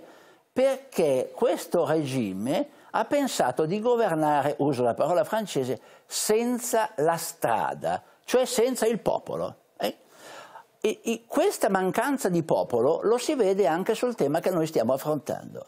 Noi abbiamo avuto un'evoluzione nelle culture del paese su questo terreno. Prima parlavamo delle carceri, lei pensi che noi abbiamo avuto un riformatore come Gozzini, Gozzini e noi oggi stiamo arretrati di secoli rispetto a quella frontiera. Sulla famiglia, eh, faticosamente in Italia, anche per le nostre tradizioni, anche per le tradizioni popolari, noi abbiamo faticato a mettere a frutto le culture che il femminismo ci ha proposto in forma limpidissima, cioè la critica alla famiglia patriarcale. Anche la famiglia va aggettivata come, come, come lo non Stato. c'è famiglia tu c'è uno Stato dice lei. democratico e c'è uno Stato autoritario. C'è, esattamente, c'è una famiglia, e infatti, ma c'è anche l'influsso delle religioni, c'è la famiglia islamica e c'è la famiglia cristiana e c'è la famiglia laica. Allora, posso chiedere una cosa, questa, Bertinotti? Questa idea invece di assolutizzare. No, le chiedo Prego. una cosa proprio, Fausto Bertinotti, come la pensa? No, perché io poi conosco bene la sua vita, lei, la sua storia, anche insomma, eh, proprio personale, no? un amore durato tutta la vita con Lella. Eh, lei, questa storia della gestazione per altri, come, come la considera? Ha fatto bene a schierarsi o anche a, a lei crea un problema personalmente?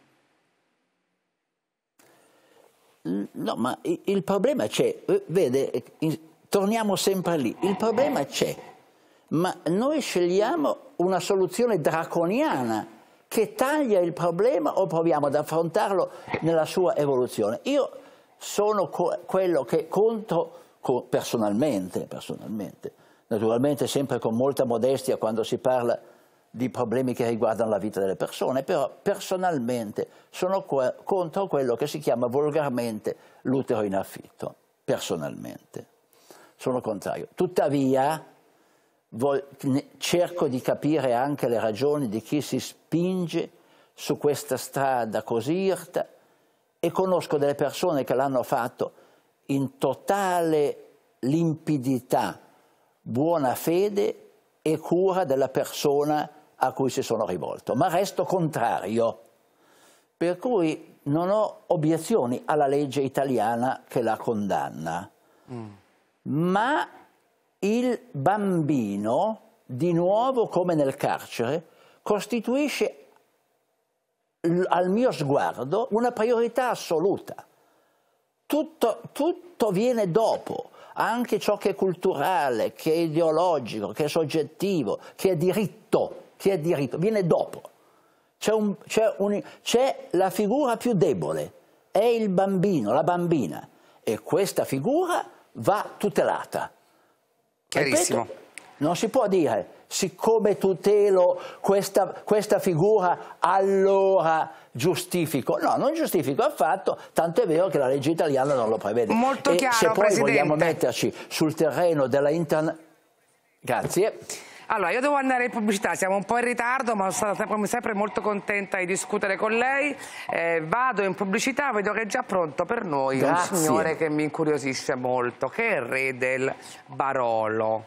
E perché? Perché questo signore eh, che coltiva le sue vigne per fare questo vino strepitoso che tutto il mondo ci invidia e ci compra, per grazia di Dio, ci dice che lui se non riesce a prendere eh, lavoratori immigrati, perché questo click day è stato molto piccino, diciamo così, per essere gentili, eh, non va avanti e rischia che le sue terre meravigliose diventino, diventino sabbia. Pubblicità e parliamo con lui. Mambo italiano. collocamento di Portogruaro che dopo un anno ci è arrivata la richiesta di un candidato. Ci manca la risorsa più importante che è il capitale umano. Dovremmo avere almeno altre due persone in produzione e due in ufficio tecnico. Non percepiamo l'interesse a voler lavorare. La gente preferisce starsene a casa ed è inutile che si dica ah, perché vengono pagati poco. Basta. Io pagavo una mia dipendente 1650 euro. Quando parliamo di lavori stagionali, il vitto alloggio viene incluso? Devo chiedere anche ai miei figli di venirci a aiutare perché altrimenti l'azienda chiude. Mi ha detto, signora, se lei mi dà più di 1200 euro, io posso valutare. Non c'è disponibilità a voler essere cantiere a un certo orario, e le ferie, poi i giorni. Altrimenti sto a casa al caldo sul divano perché ne prendo 1200 di disoccupazione. Nel tempo abbiamo perso diciamo, la, la, la tradizione. Abbiamo il deserto. Pensare allo straniero a me sta bene, ma con quale prospettiva?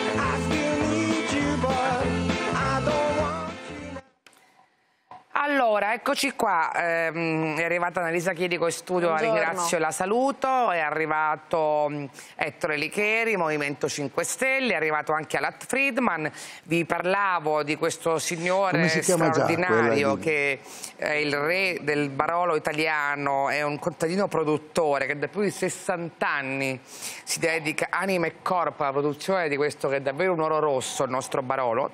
Eh, e però arriviamo al punto da cui dovevamo partire oggi, cioè decreto flussi, 83.000 posti disponibili eh, e però già dopo un'ora, un'ora da quando si apre il click day, 240.000 richieste degli imprenditori. C'è qualcosa che non quadra in realtà, perché appunto se c'è questa grande necessità di, di manodopera, di persone che lavorino, non si capisce perché eh, i flussi sono così piccoli, anche perché gli imprenditori sono tutti almeno molti, sono arrabbiatissimi, tra cui anche Bruno Ceretto. Salve Bruno, ben trovato, piacere di conoscerla. Buongiorno Mirka, buongiorno. Allora Bruno mi dica un po', ma eh, che cosa succede? Lei di quanti lavoratori ha bisogno? Diciamo, quanti riesce a trovarne e di quanti ne ha bisogno?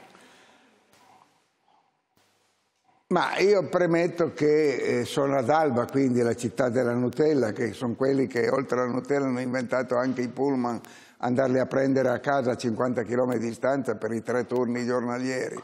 Quindi già da- dalla fine degli anni 50 c'era questa scarsità. L'agricoltura era completamente trascurata perché non creava ricchezza. Alba è diventata importante per le sue industrie, naturalmente la Ferrero, la Miroglio, la Mondo Rubber. Insomma, eh, noi abbiamo sempre avuto difficoltà, soprattutto quando abbiamo mm, cominciato a crescere nel mondo come immagine, come per la qualità dei nostri vini, avevamo veramente necessità nelle campagne di gente valida.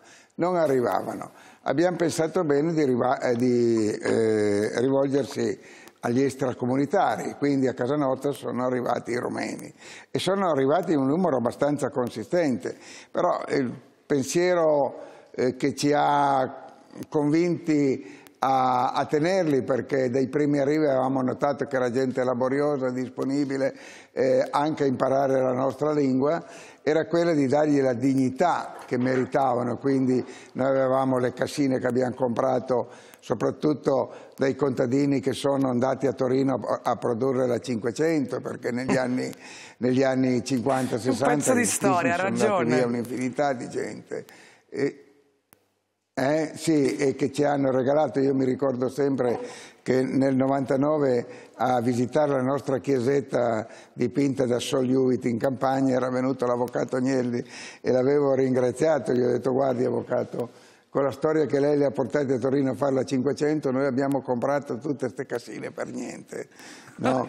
e, e- e quindi Quindi c'era necessità di questa, di, di questa manodopera. Eh, ma veniamo all'oggi. Oggi lei di cosa avrebbe bisogno? Meravigliosa, senza...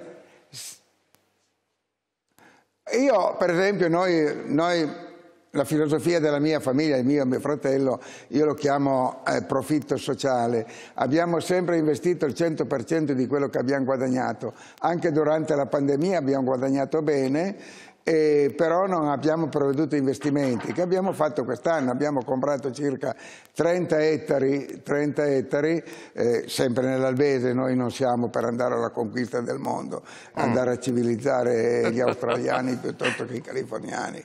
No, pensiamo alla nostra terra e, e, e basta così.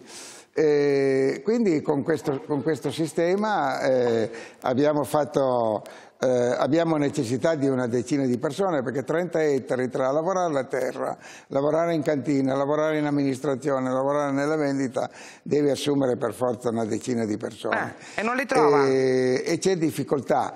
E sui romeni sui romeni abbiamo già difficoltà perché entrando in Europa eh, sono meno le persone che vengono qua. No, eh, abbiamo già quelli del Bangladesh, da dieci anni abbiamo già una quindicina di persone che arrivano dal Bangladesh. Quindi secondo lei dobbiamo fare entrare persone e, e formarli due... a un lavoro, perché voi ne avete molto bisogno. Bisogna formarle, però vede, noi ogni dieci persone, noi abbiamo una scuola enologica ad Alba che crea dei, eh, diciamo, degli ottimi tecnici agricoli, ogni dieci persone mettiamo uno dei nostri eh, mettiamo uno dei nostri che li educa, li segue e quindi eh, è la perfezione, ma veramente sono bravi, veramente imparano e veramente si sono adattati alla Allora, mi alla, verrebbe da dire, lo di chiedo vivere. prima di tutto ad Alan Friedman, si può fare, ci sta raccontando una storia molto bella questo signore, anche di integrazione, di gente che arriva lì, che rimane, che impara, che impara la lingua, cioè perché è così complicato? Perché sembra sempre invece che siamo vittime di un'invasione e che dobbiamo difenderci, quando invece i nostri imprenditori, perché io ho, ho scelto Bruno Ceretto perché la trovo una storia straordinaria la sua, però onestamente non dell'agricoltura io conosco tante persone che fanno agricoltura, è un, è un coro unanime, abbiamo bisogno di un sacco di gente, dicono. Sì, Berta, è esattamente così. E la storia di signor Bruno è una storia nobile di grande responsabilità sociale, di uh, tolleranza, di progressività nell'integrazione. Così si fa. E credo che il signor Bruno saprà anche che i bangladeshi non sono soltanto nel bellissimo Alba, ma anche dove si mungono le mucche vicino a Parma per fare il formaggio parmigiano. Mm. Una grande comunità Sikh, indiano e anche bangladeshi ci sono dintorni fra Parma e Reggio Emilia proprio lavorando e facendo un lavoro che gli italiani non, non vorrebbero e non, vogliono più fare. E queste comunità etniche che vengono da India, da Bangladesh, di Romania, ma anche da più lontano, anche da Africa, possono essere una risorsa per l'Italia con un sistema di immigrazione che è calibrato a diverse esigenze dell'Italia e skill sets. Mi spiego meglio ci sono due, almeno due categorie di flussi che secondo me sono importanti mm. e dove c'è una lacuna, una mancanza di, di fornitura di manodopera. Ah. Uno è nel uh, lavoro stagionale, come descrive il signor Bruno, nella coltivazione uh, del settore di agricoltura, dove è giusto formare anche in Africa chi vuole imparare l'italiano per eh, guarda, poi ci avere... arriveremo perché abbiamo pure cercato quelli Bene. già formati. La seconda categoria, e chiudo, è quello dove ci vogliono per le aziende, soprattutto del nord, in, uh, quando facevo la ricerca per il mio ultimo libro, Il prezzo del futuro, era proprio questo che Colau mi diceva sempre, 3 o 400 mila persone sono richieste dall'industria del nord nel uh, settore di alta tecnologia e gli italiani mancano perché le università italiane non li producono in sufficienza. Quindi invece di 70, 80 o 90 mila all'anno bisogna aprirlo a 3 o 400 mila per quelli con i skill sets alti che servono E chi ci l'industria impedisce italiana. di farlo? Io questo non capisco, sono cose così lineari, però non riusciamo a farle. Fare la domanda alla vostra classe politica, non a me. Ah, allora la faccio, la, la faccio a Licheri. Licheri, caro, classe politica. Eh, che succede? Sembra sempre che siamo in un'emergenza terribile. Allora, i posti di lavoro non ci sono, la gente non trova lavoro, stanno lì a prendere di cittadinanza per anni e anni. Da un lato Alan ci ha appena detto il contrario, che invece ci servono i, servono i lavoratori. Dall'altro abbiamo un signore che ci racconta che lui avrebbe bisogno di impiegare più persone, non le trova e abbiamo sto dramma dell'invasione. Ma che succede? Beh, in quest'ultimo caso eh, eh, succede che la stupidità ideologica politica ha fatto sì che davanti ad una richiesta di occupazione di manodopera, col diretti diceva 100.000, Federalberghi addirittura 200.000, insomma con un'offerta molto alta, il governo per, torno a ribadirlo, stupidità ideologica ha fatto un decreto che autorizzava 80.000, eh, 82.000 eh, eh, ingressi eh, regolari. Eh, questo che cosa significa? Significa che noi portiamo, eh, nel- mettiamo nelle mani dei trafficanti di esseri umani delle persone che scappano ovviamente da territori dove non c'è più speranza, anche perché, sottolineo anche, anche perché le vie legali continuano a essere strette e sostanzialmente ina- inaccessibili. Allora, Posso sentire un attimo- commentare un brevissimo commento, Mirta? Volevo sentire giusto. anche Annalisa Chirico un attimo. Solo al volo, Di al volo. al volo, il problema dell'Italia non è una crisi di migrazione a Lampedusa. Vi ricordo che prima del 25 settembre non c'è stato un atteggiamento ideologico contro i migranti rumoroso. Questo è avvenuto con Salvini e Meloni e il nuovo governo. Ora viviamo in questa tendenza di fare un incidente diplomatico con la Francia, poi mettersi in No, eh, pace. hanno fatto poi- pace la Beh, Meloni e Macron. eh. eh sì, però eh, non doveva creare l'incidente da prima e poi non è possibile che Salvini eh, continui a criminalizzare le ONG, questo è terribile, è Non veramente terribile. No, mi Quindi sembra- l'Italia eh, è in una situazione Allora, però questo cui è un po' il punto, no? Alan lo sta ribadendo anche lui, cioè c'è qualcosa che siamo dentro uno scontro ideologico, invece i problemi potrebbero risolvere in maniera molto più semplice. Il problema è più Ma io credo che non ci sia una volontà del governo di gridare al nemico esterno. I numeri ci dicono però che l'immigrazione di questi ultimi mesi è qualcosa di sorprendente. Cioè, negli ultimi cinque giorni abbiamo avuto sbarchi uguali ai primi tre mesi del- dello scorso anno. Una serie di problemi anche nel Maghreb, in Nord Africa, il terremoto in Turchia. Vari fattori stanno concorrendo a una spinta senza precedenti verso l'Italia. Però ecco, per non mettere troppi argomenti sul tavolo, perché chiaramente quello dell'immigrazione regolare, che anche questo governo si sta proponendo con un decreto flussi di incentivare, perché è vero quello che diceva prima Bruno Ceretto, che peraltro insomma è portabandiera di un'eccellenza italiana e che devo dire, insomma, avendola anche visitata, è un piacere per la vista ancora prima che per il palato, cioè i suoi vini, ma le cantine che hanno creato la- le cantine Ceretto nelle Langhe ci fanno anche sentire un po' orgogliosi di essere italiani. Oggi hanno un mercato fortissimo proprio fuori dall'Italia, tanto sono apprezzati all'estero. Che cosa ci dice però? Che ehm, c'è sicuramente bisogno di manodopera anche straniera, quindi va bene il decreto flussi che ha fatto questo governo e non i governi degli ultimi anni, che non avevano fatto il decreto flussi, eh, Mirta, Quindi neanche il governo di governo che vuole chiudere le frontiere, però Paradossalmente è questo governo che fa il decreto flussi, Eh, si può parlare poi sui numeri. E il secondo elemento però in questo chiamo in causa anche Di Cheri perché insomma in questi anni abbiamo tanto sentito parlare di reddito di cittadinanza, di sussidio per gli italiani in difficoltà. Questo Eh, sicuramente ha ridotto la lavorare? propensione al lavoro. L'Italia è il paese con i redditi medi più bassi in Europa. Questo secondo me eh, tocca anche la propensione Allora, degli questa è anche italiani una a riflessione lavorare. interessante. Quando Ceretto ci dice gli italiani qua tanto non vogliono venire per nessun motivo, uno si chiede perché? Perché in fondo invece Spesso ti rispondono lavorare gli italiani non è non, non po- terribile. non vogliamo lavorare tante ore al giorno, mestieri a volte anche usuranti come può essere il mestiere Allora, dei campi devo o dei in ristoranti pubblicità che per sono dei in redditi molto ritardo. bassi. E eh, vedo che sta arrivando anche Gianmarco Centinaio della Lega, torniamo subito. Mambo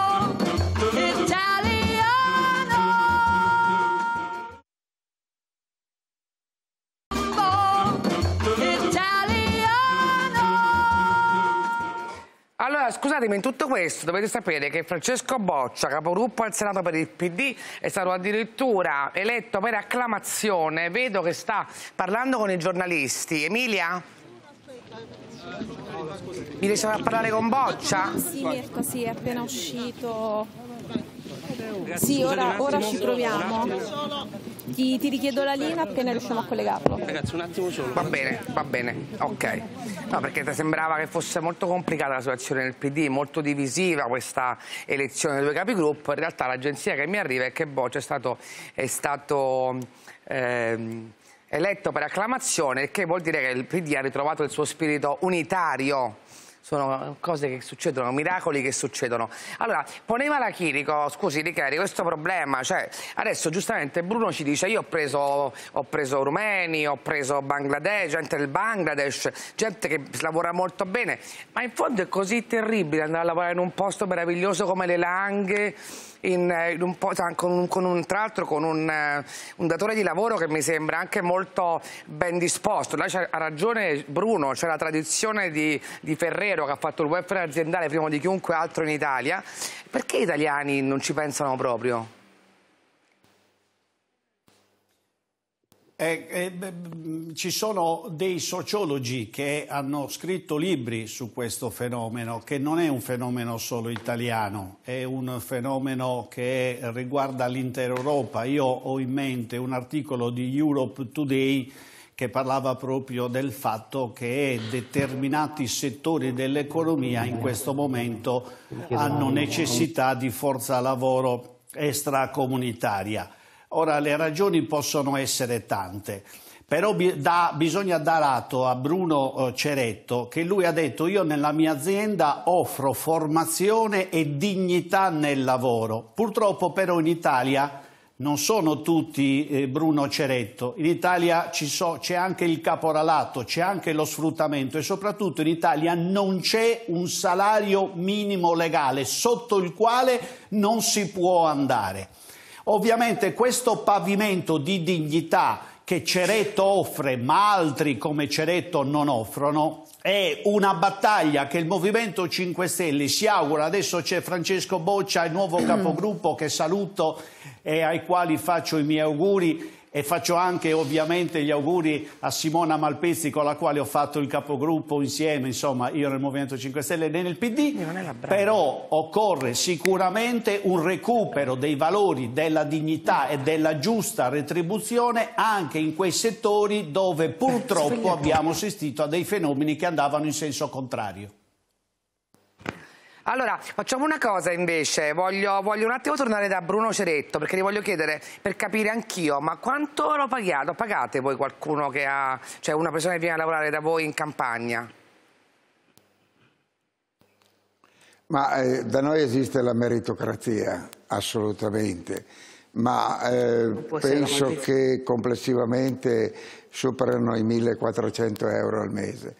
Eh, quello che posso garantirle è che eh, i miei eredi, eh, in modo molto civile, consigliati anche bene, da noi si prende 14 mensilità. Da quest'anno, quest l'anno scorso abbiamo dato anche la quindicesima, perché cioè, abbiamo dato 1000 euro di premio. Quindi no, è un lavoro del tutto, è, del tutto diciamo, modo... dentro le norme contrattuali italiane, ecco, non c'è nulla che non vada. Eh, ce l'abbiamo a boccia? Eh, ma noi avremmo bisogno di mille ceretto. Dai, è tuo. Abbiamo bisogno di mille ceretto, ho capito? Nel frattempo, vabbè, se non c'è boccia non ci capisco più nulla. Se non abbiamo boccia, fatemi una cortesia, mettetemi in linea il portavoce dell'Arci, ci sono le associazioni che si occupano di immigrazione. Eh, eccolo qui, Filippo Miraglia. Buongiorno Filippo Miraglia. Allora, ho sentito che voi avete detto Buongiorno. che questo decreto flussi, che pure come diceva la Chirico qualcosa fa, perché comunque 84.000 entrano, secondo voi è una farsa? Perché è una farsa? Ma basta ricordarsi, intanto grazie, buongiorno, basta buongiorno. ricordarsi quello che è successo in Italia in tutti questi anni, perché purtroppo quello a cui abbiamo assistito non è una novità. È Il 14 marzo del 2006 alle 14.30 era ministro del governo Berlusconi 3 Pisanu ehm, davanti alle poste italiane, perché all'epoca il decreto flussi, le persone, i datori di lavoro dovevano recarsi alle poste per fare la richiesta, per far entrare un lavoratore o una lavoratrice in Italia per motivi di lavoro, davanti alle poste italiane ci sono le immagini di tutte le televisioni, eh, le fotografie sui giornali, c'erano eh, quasi 500.000 persone a presentare domanda, molte di queste, decine di migliaia di persone, erano lì dal giorno prima.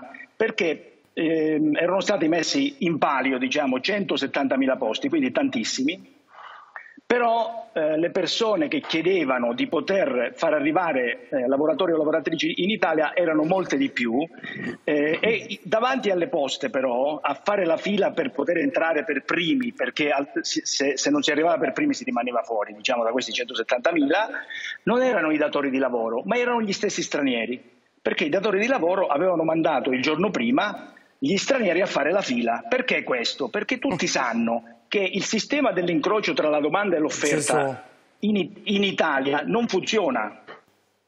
Non funziona già a livello territoriale. Il decreto flussi prevede un incrocio tra domanda e offerta di lavoro a distanza di migliaia di chilometri, cioè il signore che voi avete eh, fatto parlare finora eh, dovrebbe assumere delle persone che non conosce e che fa arrivare appunto dal Bangladesh, dal Senegal, dal Marocco. Quando c'è gente già in una... Italia e casomai già lavorato ma nel mondo so... dell'agricoltura. Guardi, ma, ma, ma, non è solo questo, il punto è che il decreto flussi ha dimostrato dal 1998 ad oggi che quando c'è appunto questo provvedimento, negli ultimi dieci anni purtroppo i governi di destra, di sinistra e, e, e misti anche eh, l'hanno bloccato non soltanto, male, soltanto, l'anno, soltanto, l'anno, scorso e quest'anno si è, ripresa, diciamo, eh, si è ripresa a fare un decreto flussi serio perché negli anni scorsi c'è stato un, de- un decreto flussi fotocopia 38.500 posti erano quasi tutti stagionali ma ricordiamo di questi 82.000 posti 44.000 sono stagionali quindi quelli non stagionali sono molto pochi.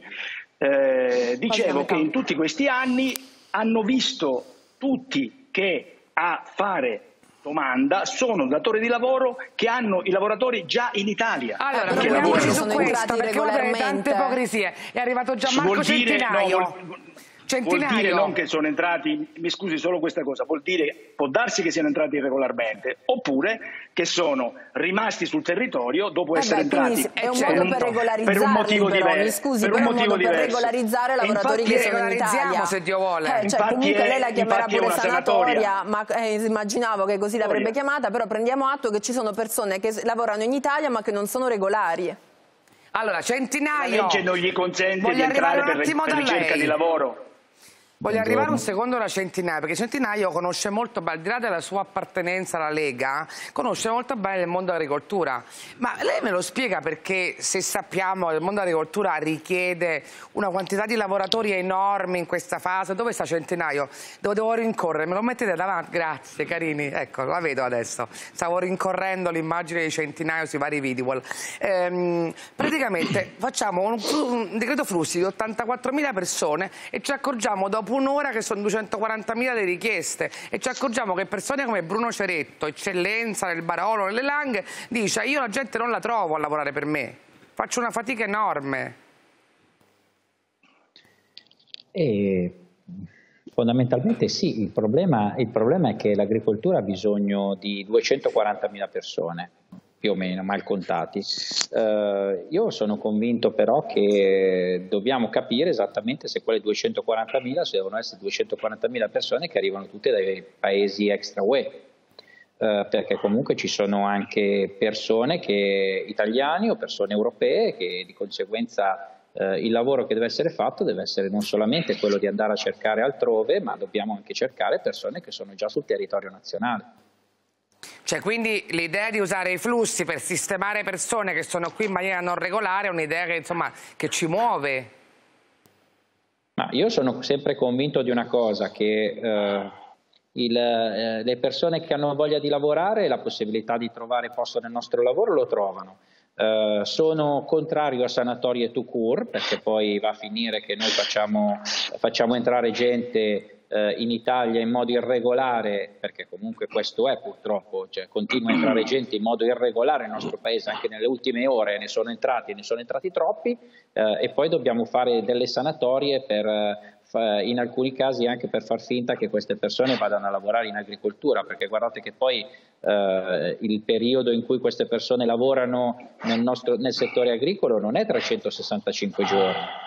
Eh, queste persone lavorano Quindi, per dice, pochi perché è un lavoro stagionale, una volta che è finita la parte stagionale, che fine fanno questi signori? È questo che Eh, sta questo è il ponendo. problema, questo è quello che io voglio capire. Eh, se, se è un lavoro stagionale e queste persone vengono in Italia a lavorare eh, e stanno a lavorare tre mesi, due mesi, quattro mesi, sei mesi, benissimo, ok, ma quando è finito il periodo di lavoro queste persone devono tornare nel paese di provenienza. Eh, in caso contrario diventa una sanatoria e saniamo tutti e facciamo finta che queste persone lavorino in agricoltura. Beh, certo, per una volta però è difficile una volta che sono in Italia che se ne tornino a casa, specie gente quello- che fugge da Ma paesi dove che sta male. succede. Eh?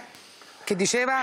Quello che succede, i lavoratori stagionali, quelli che entrano per lavoro stagionale, che sono la maggioranza, appunto dicevo nel caso di questo decreto flussi, ma anche di quelli degli anni scorsi sono la maggioranza, tornano a casa perché hanno un permesso di soggiorno della mass- durata massima di nove mesi e siccome sanno che se non tornano a casa non possono ritornare l'anno prossimo perché devono dimostrare di essere tornati nel paese d'origine, questi tornano tutti a casa. Il problema è di quelli che vogliono rimanere che non hanno modo per entrare legalmente, perché la legge italiana glielo impedisce, perché in tutti questi anni Allora, sull'immigrazione... ora ci torniamo, faccio parlare voi due un momento, eh, però prima devo andare da Boccia, però c'è la pubblicità? Boccia, deve avere un attimo di pazienza, perché io l'ho aspettata parecchio, adesso aspetta un secondo, lei mi va di pubblicità e poi arrivo, un attimo, arrivo subito. Mambo Italiano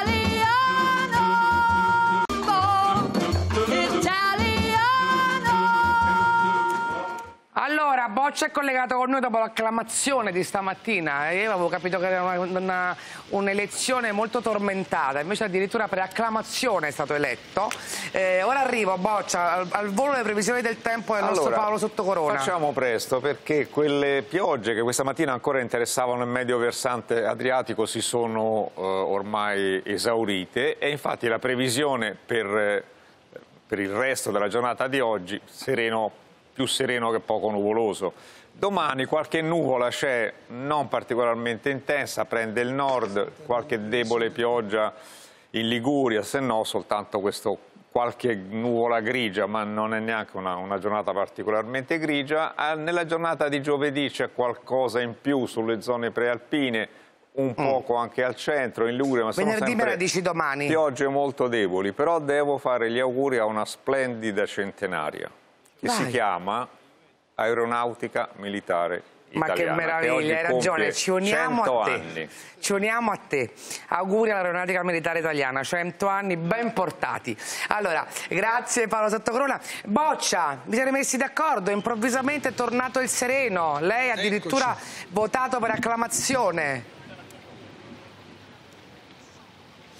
No, ma il PD, come sapete, perché voi siete dei grandi esperti di storie del PD, è un partito vero che discute. Ieri, devo dire, sulla relazione di Ellie Schlein si è aperto un bel dibattito con i gruppi parlamentari congiunti sulla- su- su- sulle prospettive, su- sul modo di essere alternativi a questa destra e la discussione di ieri penso sia stata molto molto bella, profonda, vera e poi abbia portato a questa assemblea qui oggi al Senato. Ora eh, penso stia iniziando in parallelo quella della Camera con eh, un altro dibattito altrettanto lungo e poi i senatori nella loro autonomia hanno eh, deciso di accogliere la proposta della segretaria Schlein e li ringrazio perché questa cosa mi responsabilizza molto, è un onore.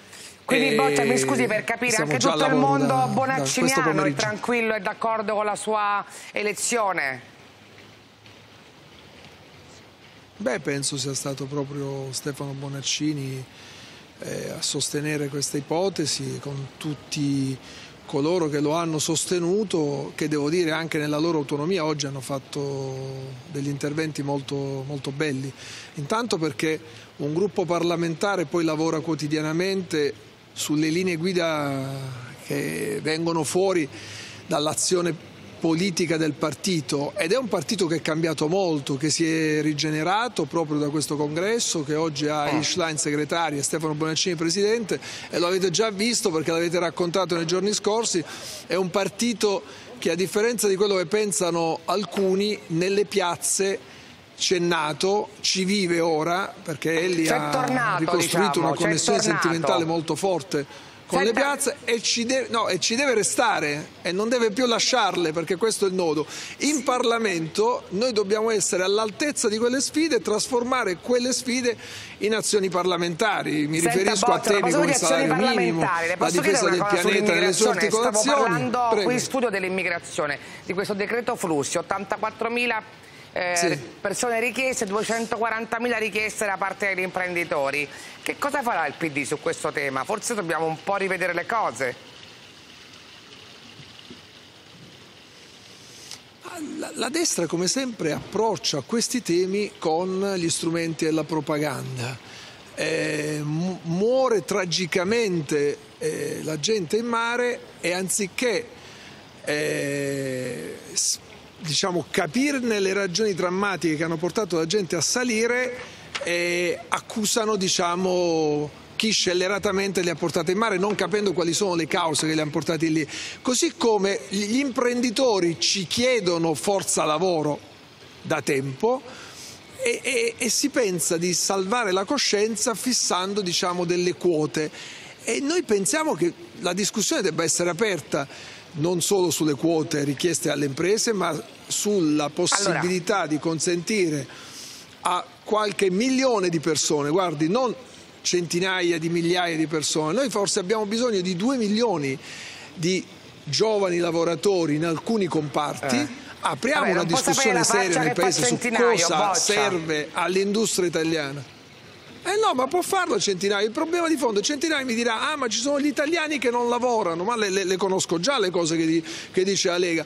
Nessuno nega il lavoro agli italiani, anzi tutti Allora, gli italiani, Centinaio, tutte le però. Persone attimo, che sono senza no, lavoro devono essere protette la- anziché la togliergli il reddito di cittadinanza. Intervistai Salvini quel giorno all'assemblea Sì. di Confagricoltura. La reazione di voi quando, Sì. quando Lollobrigida parlò, lo dico a centinaio, dei 500.000 che dovevano entrare nei prossimi. Eh, Boccia parla di 2 milioni per farle capire, No, ma- centinaio. ma- ma- ma non lo diceva casualmente. No, 2 milioni complessivi, cioè, c'è un quadro generale tra i vari comparti Boccia. che se facciamo un'analisi seria ci porta, no, no, ma le- no, la lascio centinaio, vi lascio, vi lascio assolutamente al vostro dibattito, non volevo infilarmi nel dibattito, dico semplicemente che bisogna essere seri e capire quali sono le Allora, ragioni che portano le Centinaio- imprese a fare queste richieste. Oh, oh, e, e poi, la, e poi le- la gestiamo. Centinaio.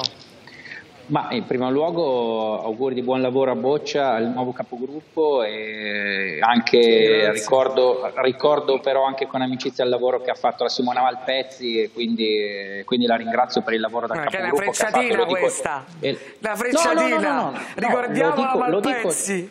Lo dico da No, no, vicepresidente ma del Senato, Simona- perché io non è che sono solo della Lega, sono anche amici, vicepresidente del Senato. Certo, ha ragione, ha ragione, Lo- bravo. Lo dico anche da vicepresidente del. Senato e, e penso che Simona Malpezzi abbia fatto un grande lavoro e penso che lo farà anche Boccia, eh, il senatore Ok. Boccia, il capogruppo, il presidente Boccia. Questo, da questo punto di vista non ci sono assolutamente, lo volevo dire in assoluta serenità. Eh, per quanto riguarda la questione Grazie, immigrazione, grazie. sembra stiamo tirando i numeri del Super Enalotto. Allora, il ministro Lollobrigida ce ne dice 500.000, il senatore il presidente Boccia ce ne dice 2 milioni, adesso poi noi Per ne abbiamo detti l'agricoltura, 240.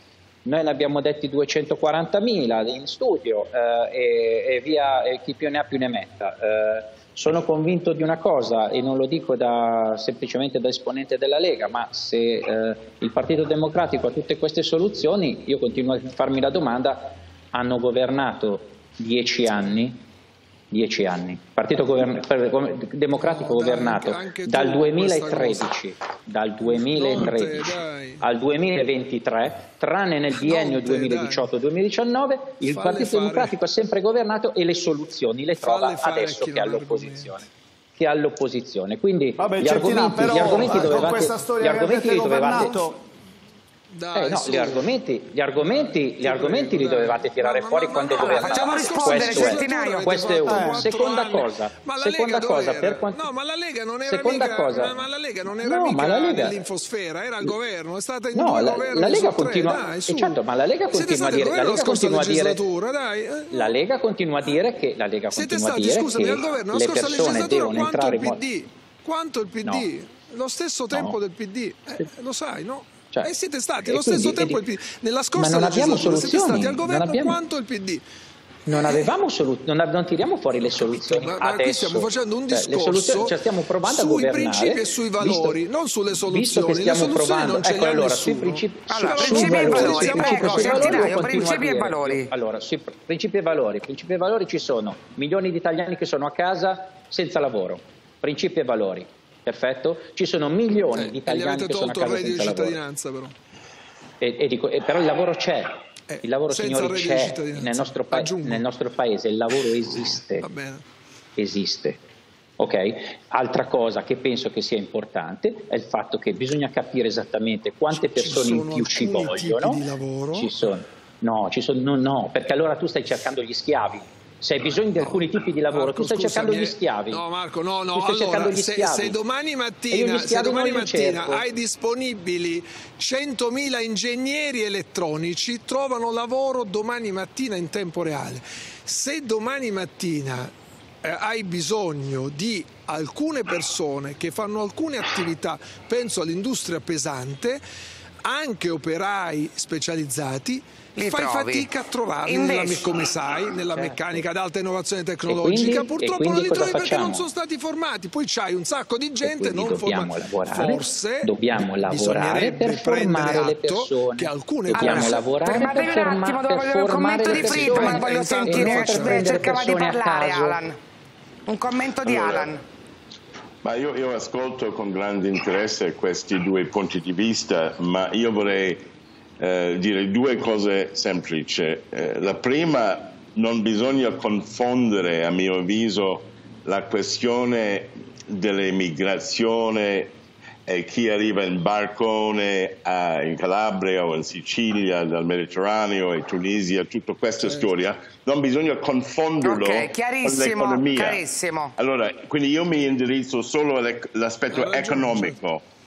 L'aspetto economico è che per l'Italia, che ha bisogno per l'industria 240.000 o 300.000 ingegneri, persone con dei skill sets che le università italiane non stanno producendo, è autolesivo a non prendere questi 240.000 e Autolesionista, chiarissimo. Alan. Eh, pensiamo a dove siamo. Oggi siamo messi così, dice Friedman, cerchiamo di essere pragmatici. Io devo correre in pubblicità, ringrazio sia Boccia che Centinaio, siete arrivati un po' tardi, se no avremmo fatto un dibattito meraviglioso, Grazie. ma lo rifaremo. Grazie, pubblicità, è finito il tempo. Mambo